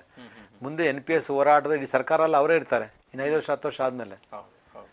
ಸರ್ಕಾರ ಭಾಳ ಪರಿಗಣಿಸ್ಬೇಕಾಗ್ತದೆ ಸರ್ ಇದು. ಇಲ್ಲಾಂದ್ರೆ ಭಾಳ ಕಷ್ಟ ಆಗ್ತದೆ ಮುಂದೆ. ಸರ್ಕಾರ ನಡೆಸೋಕ್ಕೆ ಕಷ್ಟ ಆಗ್ತದೆ. ಅವ್ರು ಒಂದಿನ ಸ್ಟ್ರೈಕ್ ಮಾಡೋದು ಮುಂದೆ ಆಗಲ್ಲ. ನಾ ಸ್ಟ್ರೈಕ್ ಹೋಗೋದಿಲ್ಲ ಆ್ಯಕ್ಚುಲಿ ಈಗ. ಯಾಕೆ? ನಮ್ಮ ಬೇಡಿಕೆಗಳು ಈಡೇರ್ತಾ ಇದೆ ಆ್ಯಕ್ಚುಲಿ ಈಗ. ಯಾವುದು ಯಾವುದೋ ಅಂತ ಹೋಗ್ತಾ ಇಲ್ಲ. ಸರ್ ರಾಜ್ಯದಾದ್ಯಂತ ಒಂದು ನಿಶ್ಚಿತವಾದಂತಹ ಹೋರಾಟ ಬೇಕಾಗುತ್ತಾ ಅನ್ನುವಂಥದ್ದು. ಯಾಕೆಂದ್ರೆ ಸರ್ಕಾರನ ಎದುರಿಸುವಂತ ಪ್ರಶ್ನೆ ಅಲ್ಲ. ಸರ್ಕಾರದ ಕೆಲವು ಧೋರಣೆಗಳನ್ನ ಖಂಡಿಸಲೇಬೇಕಾಗುತ್ತೆ. ನಾವೆಲ್ಲ ಒಪ್ಕೊಳ್ಳೋಕೆ ಸಾಧ್ಯ ಇಲ್ಲ. ಸರ್ಕಾರಿ ಕೆಲಸಗಾರರು ಅಂದ ತಕ್ಷಣ ಎಲ್ಲವನ್ನೂ ಕೂಡ ಒಪ್ಕೊಳ್ಳೋಕೆ ಸಾಧ್ಯ ಇಲ್ಲ. ಸೊ ಒಂದು ಸಂಘಟನೆಯ ಬೆಂಬಲ ಯಾಕಂದ್ರೆ ಸರ್ಕಾರ ನೌಕರ ಸಂಘಟನೆ ಹಾಗೇನೆ ಇದೆ. ಸೊ ಹಾಗಾಗಿ ರಾಜ್ಯಾಧ್ಯಕ್ಷರು ಕೂಡ ಅಷ್ಟೇ ಸ್ಟಿಫ್ ಆಗಿ ಇದನ್ನ ಮೂವ್ ಮಾಡಬೇಕಾಗುತ್ತೆ ಅಥವಾ ನಿಮ್ಮ ಮೂವ್ಮೆಂಟ್ ಅನ್ನ ಕ್ಯಾರಿ ಮಾಡಬೇಕಾಗುತ್ತೆ.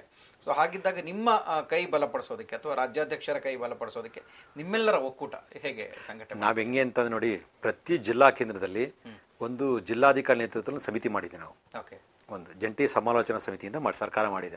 ಹಿಂದೆ ಯಾವ ಇತಿಹಾಸದಲ್ಲೇ ಆ ಥರ ಇರಲಿಲ್ಲ. ಆದೇಶ ಆಗಿದೆ ಅದು. ಸರ್ಕಾರವು ಸರ್ಕಾರ ಜಿಲ್ಲಾಧ್ಯಕ್ಷರನ್ನ ಪ್ರತಿಯೊಂದು ಸರ್ಕಾರಿ ಕಾರ್ಯಕ್ರಮಕ್ಕೆ ಆಹ್ವಾನ ಮಾಡಬೇಕು ಅಂತ ಮಾಡ್ತಿದ್ದೀವಿ ಮತ್ತೆ ಯಾವ್ದಾರ ಬೋಗಸ್ ಅರ್ಜಿಗಳು. ಹೆಸರಿಲ್ಲದೆ ಅರ್ಜಿಗಳು ಬರೆದವಾಗ ಬಹಳ ಹಿಂಸೆ ಕೊಡೋರು. ಅದನ್ನ ತೆಗೆದು ಮೂಕ ಅರ್ಜಿಗಳನ್ನ ನಿರ್ಮೂಲನೆ ಮಾಡಿದ್ದೀವಿ. ಇದು ಸರ್ಕಾರಿ ನೌಕರಿ ಸಿಕ್ಕದ್ ಕಿರಿಕಿರಿ ಆಗೋದು ಸರ್. ಅರ್ಜಿಗಳಂತೂ ಬರ್ಸ್ ನಾವು ನಾನೇ ಮೋಸ್ಟ್ ಜಾಸ್ತಿ ಅರ್ಜಿ ಬರ್ಸ್ಕೊಂಡಿರೋದು. ಬೋಗಸ್ ಅರ್ಜಿಗಳು ಬರೆಯೋರು ಎನ್ಕ್ವೈರಿ ಆಗೋದು ಯಾವುದು ಪೂರೈಸಿಲ್ಲ ಆ ಪ್ರಶ್ನೆ ಬೇರೆ. ನನಗೇನು ಧೈರ್ಯ ಇದೆ ನಾನು ಫೇಸ್ ಮಾಡ್ತೀನಿ ಸರ್. ಸಾಮಾನ್ಯ ನೌಕರಿಗೆ ಇಂಥ ಅರ್ಜಿಗಳು ಬರೆದ್ರೆ ಅವರು ಎದುರ್ಕೊಂಡ್ಬಿಡ್ತಾರೆ ನೋಡಿಸಿ ಎದುರ್ಕೊಂಡ್ಬಿಡ್ತಾರೆ ಅವರು. ಅದನ್ನ ತೆಗ್ಸಿದ್ವಿ. ಫಸ್ಟ್ ಕೆಲಸ ಮಾಡಿದ ಅದೇ ನಾವು. ಓಕೆ ಬೋಗಸ್ ಅರ್ಜಿಗಳನ್ನ ನಿರ್ಮೂಲನೆ ಮಾಡಬೇಕು. ವಿತೌಟ್ ಅವನ ಮಾಹಿತಿ ಇಲ್ಲ ಅರ್ಜಿ ಕೊಟ್ಟರೆ ಅದನ್ನ ತಕ್ಷಣ ವಿಲೆ ಇಡಬೇಕು ಪರಿಪೂರ್ಣವಾಗಿ ಅರ್ಜಿ ಕೊಡಿ. ಧೈರ್ಯವಾಗಿ ಕೊಡಿ ಎಂತ ಕಂಪ್ಲೇಂಟ್ ಬರೀರಿ. ಕಂಪ್ಲೇಂಟ್ ಲಗೇಜ್ ಮಾಡಿ ಅವ್ರನ್ನ ಎನ್ಕ್ವೈರಿ ಮಾಡ್ತೀವಿ ನಾವು? ನಾವು ದಂಡೆ ಮಾಡಬೇಕು ಅಂತ ಏನಿಲ್ಲ ಮಾಡ್ತೀವಿ ಸರ್ ನಿಯಮನ ಸರಿಯಿಂದ ಮಾಡ್ತೀವಿ. ಇದೆಲ್ಲ ಮಾಡಿದ್ವಿ. ಸರ್ಕಾರ ಆಕ್ಚುಲಿ ಬೇಡಿಕೆ ಈಡೇರಿಸ್ತಾರೆ ನಾವು ಆಕ್ಚುಲಿ ನಾವು ಸ್ಟಾರ್ಟಿಂಗ್ ಮಾಡಿದಾಗ. ಆದರೆ ಸರ್ಕಾರ ಮಟ್ಟದಲ್ಲಿ ಯಾವುದೋ ತೀರ್ಮಾನ ಆಗಬೇಕು ಅಥವಾ ಸ್ನೇಕ್ ಸ್ಟ್ರೈಕ್ ಸ್ಟ್ರೈಕ್ ಆಗೋದಿಲ್ಲ. ನಮ್ದು ಎಕ್ಸಿಕ್ಯೂಟಿವ್ ಬಾಡಿ ಇದೆ. ತಾಲೂಕ್ ಸಮಸ್ಯೆ ಇದೆ ನಮ್ದು. ಜಿಲ್ಲಾಧಿಕಾರಿ ಸಮಿತಿ ಇರ್ತದೆ. ಯಾವುದೇ ನೌಕರ ಬೇಡಿಕೆ ಈಡೇರಿಸುವಂಥ ಕೆಲಸ ನಾವು ಮಾಡ್ತಾ ಇದ್ದೀವಿ. ಇದೆಲ್ಲ ಇದೆ. ಜಂಟಿ ಸಮಿತಿ ಯಾವುದೂ ರಚನೆ ಆಗಿರಲಿಲ್ಲ. ಇದೇ ಫಸ್ಟ್ ಟೈಮ್ ತಾಲೂಕು ಅಧ್ಯಕ್ಷಗಳು ಇರ್ತಾರೆ ಅದಕ್ಕೆ. ಜಿಲ್ಲಾಧಿಕಾರಿ ಇರ್ತಾರೆ ಸಿ ಒ ಇರ್ತಾರೆ ಎಸ್ ಪಿ ಇರ್ತಾರೆ. ಆ ಸಮಿತಿಯಲ್ಲಿ ಅವ್ರ ಸಮಸ್ಯೆ ಬಗೆಹರಿಸಿದ್ದೀವಿ. ರಾಜ್ಯ ಮಟ್ಟದಲ್ಲಿ ಜಂಟಿ ಸಮಾಲೋಚನಾ ಇದೆ. ಅಲ್ಲಿ ರಾಜ್ಯಾಧ್ಯಕ್ಷ ಇರ್ತಾರೆ ಚೀಫ್ ಸೆಕ್ರೆಟರಿ ಇರ್ತಾರೆ ಅದರಲ್ಲಿ. ಕೆಲವೊಂದು ಸೆಕ್ರೆಟರೀಸ್ ಇದ್ದಾರೆ. ಇದೆಲ್ಲ ಮಾಡಿರೋದ್ರಿಂದ ಬೇಡಿಕೆ ಅಂತ ಬೇಡಿಕೆಗಳು ಬಂದಾಗ ನಾವೆಲ್ಲ ತೀರ್ಮಾನ ಮಾಡ್ತೀವಿ. ಸರ್ಕಾರ ವಿರೋಧ ಏನಾರ ಜಗಳಾಡಿ ಅಂತ ಮುಷ್ಕರ ಮಾಡಿ ಪಡಿಬೇಕು ಅನ್ನೋ ಇದಿದ್ರೆ ನಾವು ಮಾಡೇ ಮಾಡೇ ಮಾಡ್ತೀವಿ ನಾವು. ಅಂತ ಪರಿಸ್ಥಿತಿ ಬಂದ್ರೆ. ಆದ್ರೆ ಅವಕಾಶ ಸಿಗ್ತಿಲ್ಲ ಅನ್ನೋದು ನಮ್ಮ ಇದು. ಯಾಕೆ ಸರ್ಕಾರ ಹೋರಾಟ ಜಿದ್ದ ಜಿದ್ದ ಆಗ್ತಾನೆ ಇಲ್ಲ ನಾವು. ನಮ್ಮ ರಾಜ್ಯಾಧ್ಯಕ್ಷರು ಮಾನ್ಯ ಮುಖ್ಯಮಂತ್ರಿ ಜೊತೆ ಬಹಳ ಹತ್ತಿರ ಇರೋದ್ರಿಂದ. ಸಮಸ್ಯೆಗಳು ಬಿಡೇರ್ ಈಡೇರ್ತಾ ಇದೆ. ಸರಿ ವರ್ಗಾವಣೆ ಅಂತ ಬಂದಾಗ ಸಾಕಷ್ಟು ಸಮಸ್ಯೆಗಳಾಗುತ್ತೆ ಕೆಲವು ಇಲಾಖೆಗಳಲ್ಲಿ. ಸೊ ಈಗ ಗೊಂದಲ ಸಾಕಷ್ಟು ಸೃಷ್ಟಿ ಆಗುತ್ತೆ ಅಥವಾ ಎರಡು ವರ್ಷದಿಂದ ಮೂರು ವರ್ಷದಿಂದ ಆ ರಿವೈಸೇ ಆಗೋದಿಲ್ಲ. ಸ್ಕೀಮ್ಗಳು ಏನೇನೋ ಇರುತ್ತೆ. ವರ್ಗಾವಣೆಗೂ ಸಾಕಷ್ಟು ಆ, ಏನು ಕಂಡೀಷನ್ಸ್ ಇರುತ್ತೆ. ಅದನ್ನೆಲ್ಲ ಏನಾದರೂ ಸ್ವಲ್ಪ ನಿವಾರಣೆ ಮಾಡಬಹುದಾ? ಎಲ್ಲೋ ಇರ್ತಾರೆ ಗಂಡ ಎಲ್ಲೋ ಕೆಲಸ ಮಾಡ್ತಾರೆ ಹೆಂಡತಿ ಎಲ್ಲೋ ಕೆಲಸ ಮಾಡ್ತಾರೆ. ಇಲ್ಲ ಅದಕ್ಕೆ ಸರ್ಕಾರ ಅವಕಾಶ ಮಾಡಿಕೊಟ್ಟಿದೆ. ಕೌನ್ಸಿಲಿಂಗ್ ಮಾಡ್ತಾ ಇದೆ ಈಗ. ಮೊದಲು ಅಂತಂದ್ರೆ ಯಾರು ಎತ್ಸೋದು ಎಲ್ಲ ಮಾಡೋರು. ಆಲ್ಮೋಸ್ಟ್ ಆಲ್ ಒಂದು ಎಂಬತ್ತು ಪರ್ಸೆಂಟ್ ಇಲಾಖೆ ಕೌನ್ಸಿಲಿಂಗ್ ಆಗೋಗಿದೆ. ಓಕೆ ನಾವು ಕೇಳಿ ಜಾಗಲ್ಲೇ ಡಿಸ್ಪ್ಲೇ ಮಾಡ್ತಾರೆ ನೀವು ಯಾವ ಜಾಗ ಬೇಕು ಆಯ್ಕೆ ಮಾಡ್ಕೊಳ್ಳಿ ಆಪ್ಷನ್ಸ್ ಇದೆ. ಆ ಥರ ಮಾಡಿದೆ. ರೆವಿನ್ಯೂ ಇಲ್ಲ ಪೊಲೀಸಲ್ಲಿ ಈ ಥರ ಎಲ್ಲ. ಒಂದು ಕೆಲವೊಂದು ಇಲಾಖೆ ಬಹಳ ಮಹತ್ವ ಪಡೆದ ಇಲಾಖೆನಲ್ಲಿ ಕೌನ್ಸಿಲಿಂಗ್ ಇಲ್ಲ. ಅದನ್ನು ಕೂಡ ಹೇಳಿದೆ ಮುಂದೆ. ಕೌನ್ಸಿಲಿಂಗ್ನ ಮಾಡಿ ಸಿಯಾಸ್ ತಿದ್ದುಪಡಿ ಮಾಡಿ ನಮಗೆ.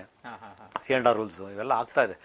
ಬಹಳ ಬದಲಾವಣೆ ಆಗಿದೆ ಈ ಒಂದೂವರೆ ವರ್ಷದಲ್ಲಿ ಆಕ್ಚುಲಿ ಓಕೆ ನೌಕರ ಪರ ಕೆಲಸ ಮಾಡ್ತಾ ಇದೆ ಕೋವಿಡ್ ಬಂದ ಅರ್ಧ ನಮ್ಮನ್ನ ಎಳ್ಕೊಂಡು ಹೋಗ್ತಾ ಇದೆ ಎಲ್ಲ ಯಾವ್ದಾರ ಮರೆ ಆಗ್ಬಿಡ್ತದೆ ಆಕ್ಚುಲಿ ಕೋವಿಡ್ ನಾವು ಕೆಲಸ ಮಾಡಿದೆಲ್ಲ ಏನೋ ಮುಚ್ಕೊಂಡು ಹೋಗ್ತಲ್ಲ ಆ ಥರ ಆಗ್ತಾ ಇದೆ ಕೆಲಸ ಮಾಡ್ತಿದ್ದು ಹೇಳಕ್ಕಾಗೋದಿಲ್ಲ. ಸ್ಟ್ರಾಂಗ್ ಲೇಯರ್ ಕೋವಿಡ್ ಜಾಸ್ತಿ ಕೋವಿಡ್ ಅಡ್ಡ ಬರ್ತಾ ಸರ್. ಎರಡನೇ ಸಲ ಸರ್ ನಮ್ಮ ಅಧ್ಯಕ್ಷ ಎರಡು ವರ್ಷ ಆಗಿ ಎರಡನೇ ಸಲ ಅಡ್ಡ ಬಂದಿದೆ. ಓಕೆ ಯಾವ ಕೆಲಸ ಮಾಡೋಣ? ನಾವು ಆಕ್ಚುಲಿ ಕೂಡ ನೀವು ನಿಮ್ಮ ಎಫರ್ಟ್ನ ಮೀರಿ ಕೆಲಸ ಮಾಡ್ತಾ ಇದೀರಿ ಅಂತ ಡೆಫಿನೆಟ್ಲಿ ಕೆಲಸ ಮಾಡ್ತಾ ಇದ್ದೀನಿ. ನೌಕು ಪರವಾಗಿ ನಾನು ಬಹಳ ದಿನದ ಇದು.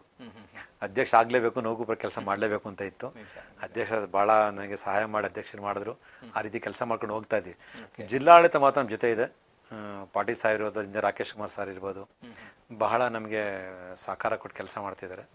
ಯಾವ್ದನ್ನ ಕೇಳ್ತಾರೆ ಅಟ್ಲೀಸ್ಟ್ ನಮ್ಮ ಮನವಿನ ಏನು ನೌಕರು ತೊಂದರೆ ಇದೆ ಅಂತ ಕೇಳ್ತಾರೆ ಅಷ್ಟೇ ಸಾಕು ನಮಗೆ.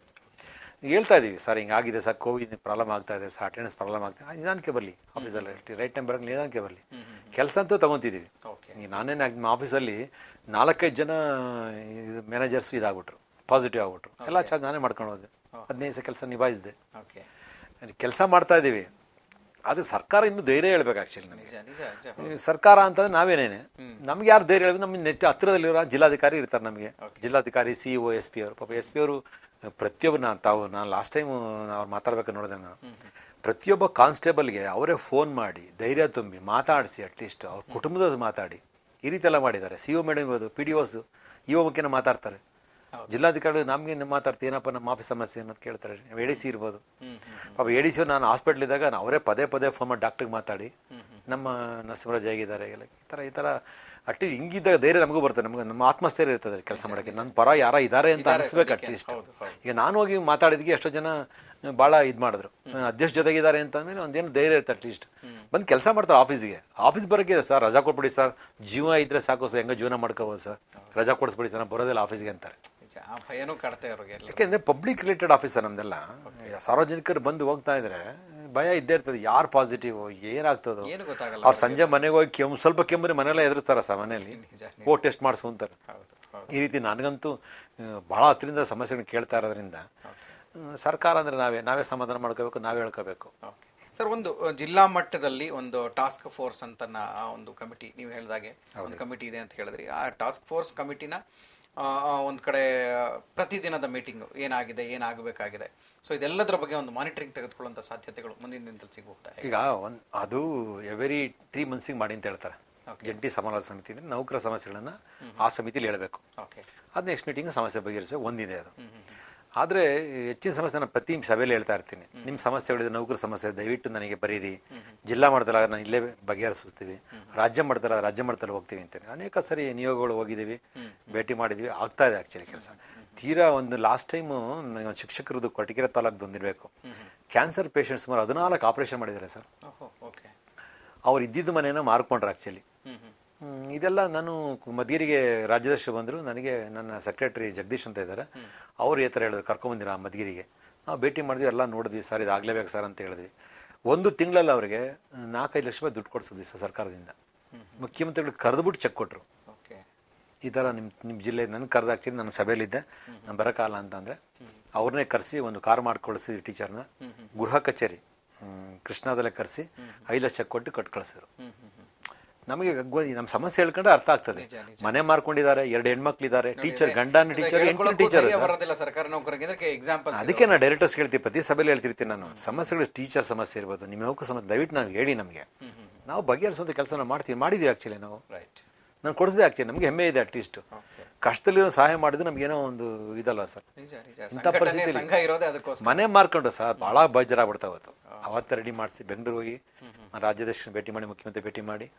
ಬರ್ಸ್ಕೊಟ್ಟು ಆಮೇಲೆ ಪರಿಹಾರ ನಿಧಿ ಚೆಕ್ ಕೊಡಿಸ್ಬಿಟ್ವಿ. ಓಕೆ ಈ ಥರ ಎಲ್ಲ ಸಂಘ ಸಂಘ ಇರೋದು ಸರ್ಕಾರ ನೌಕರಿ ಪರವಾಗಿ ಕೆಲಸ ಮಾಡೋಕ್ಕೆ ಸಂಘ ಇರೋದು. ನಾವು ಇದ್ದೀವಿ ಏನು ಕೋವಿಡ್ ಅಂತ ಯಾರು ಭಯ ಪಡೋ ಅವಶ್ಯಕತೆ ಇಲ್ಲ. ಇದನ್ನು ಕೂಡ ನಿಮ್ಮ ಹೇಳ್ಬೋದು. ಯಾಕೆ ಅಂತಂದರೆ ಭಯದಿಂದ ಕೆಲಸ ಮಾಡಬೇಡಿ ಯಾರನ್ನು.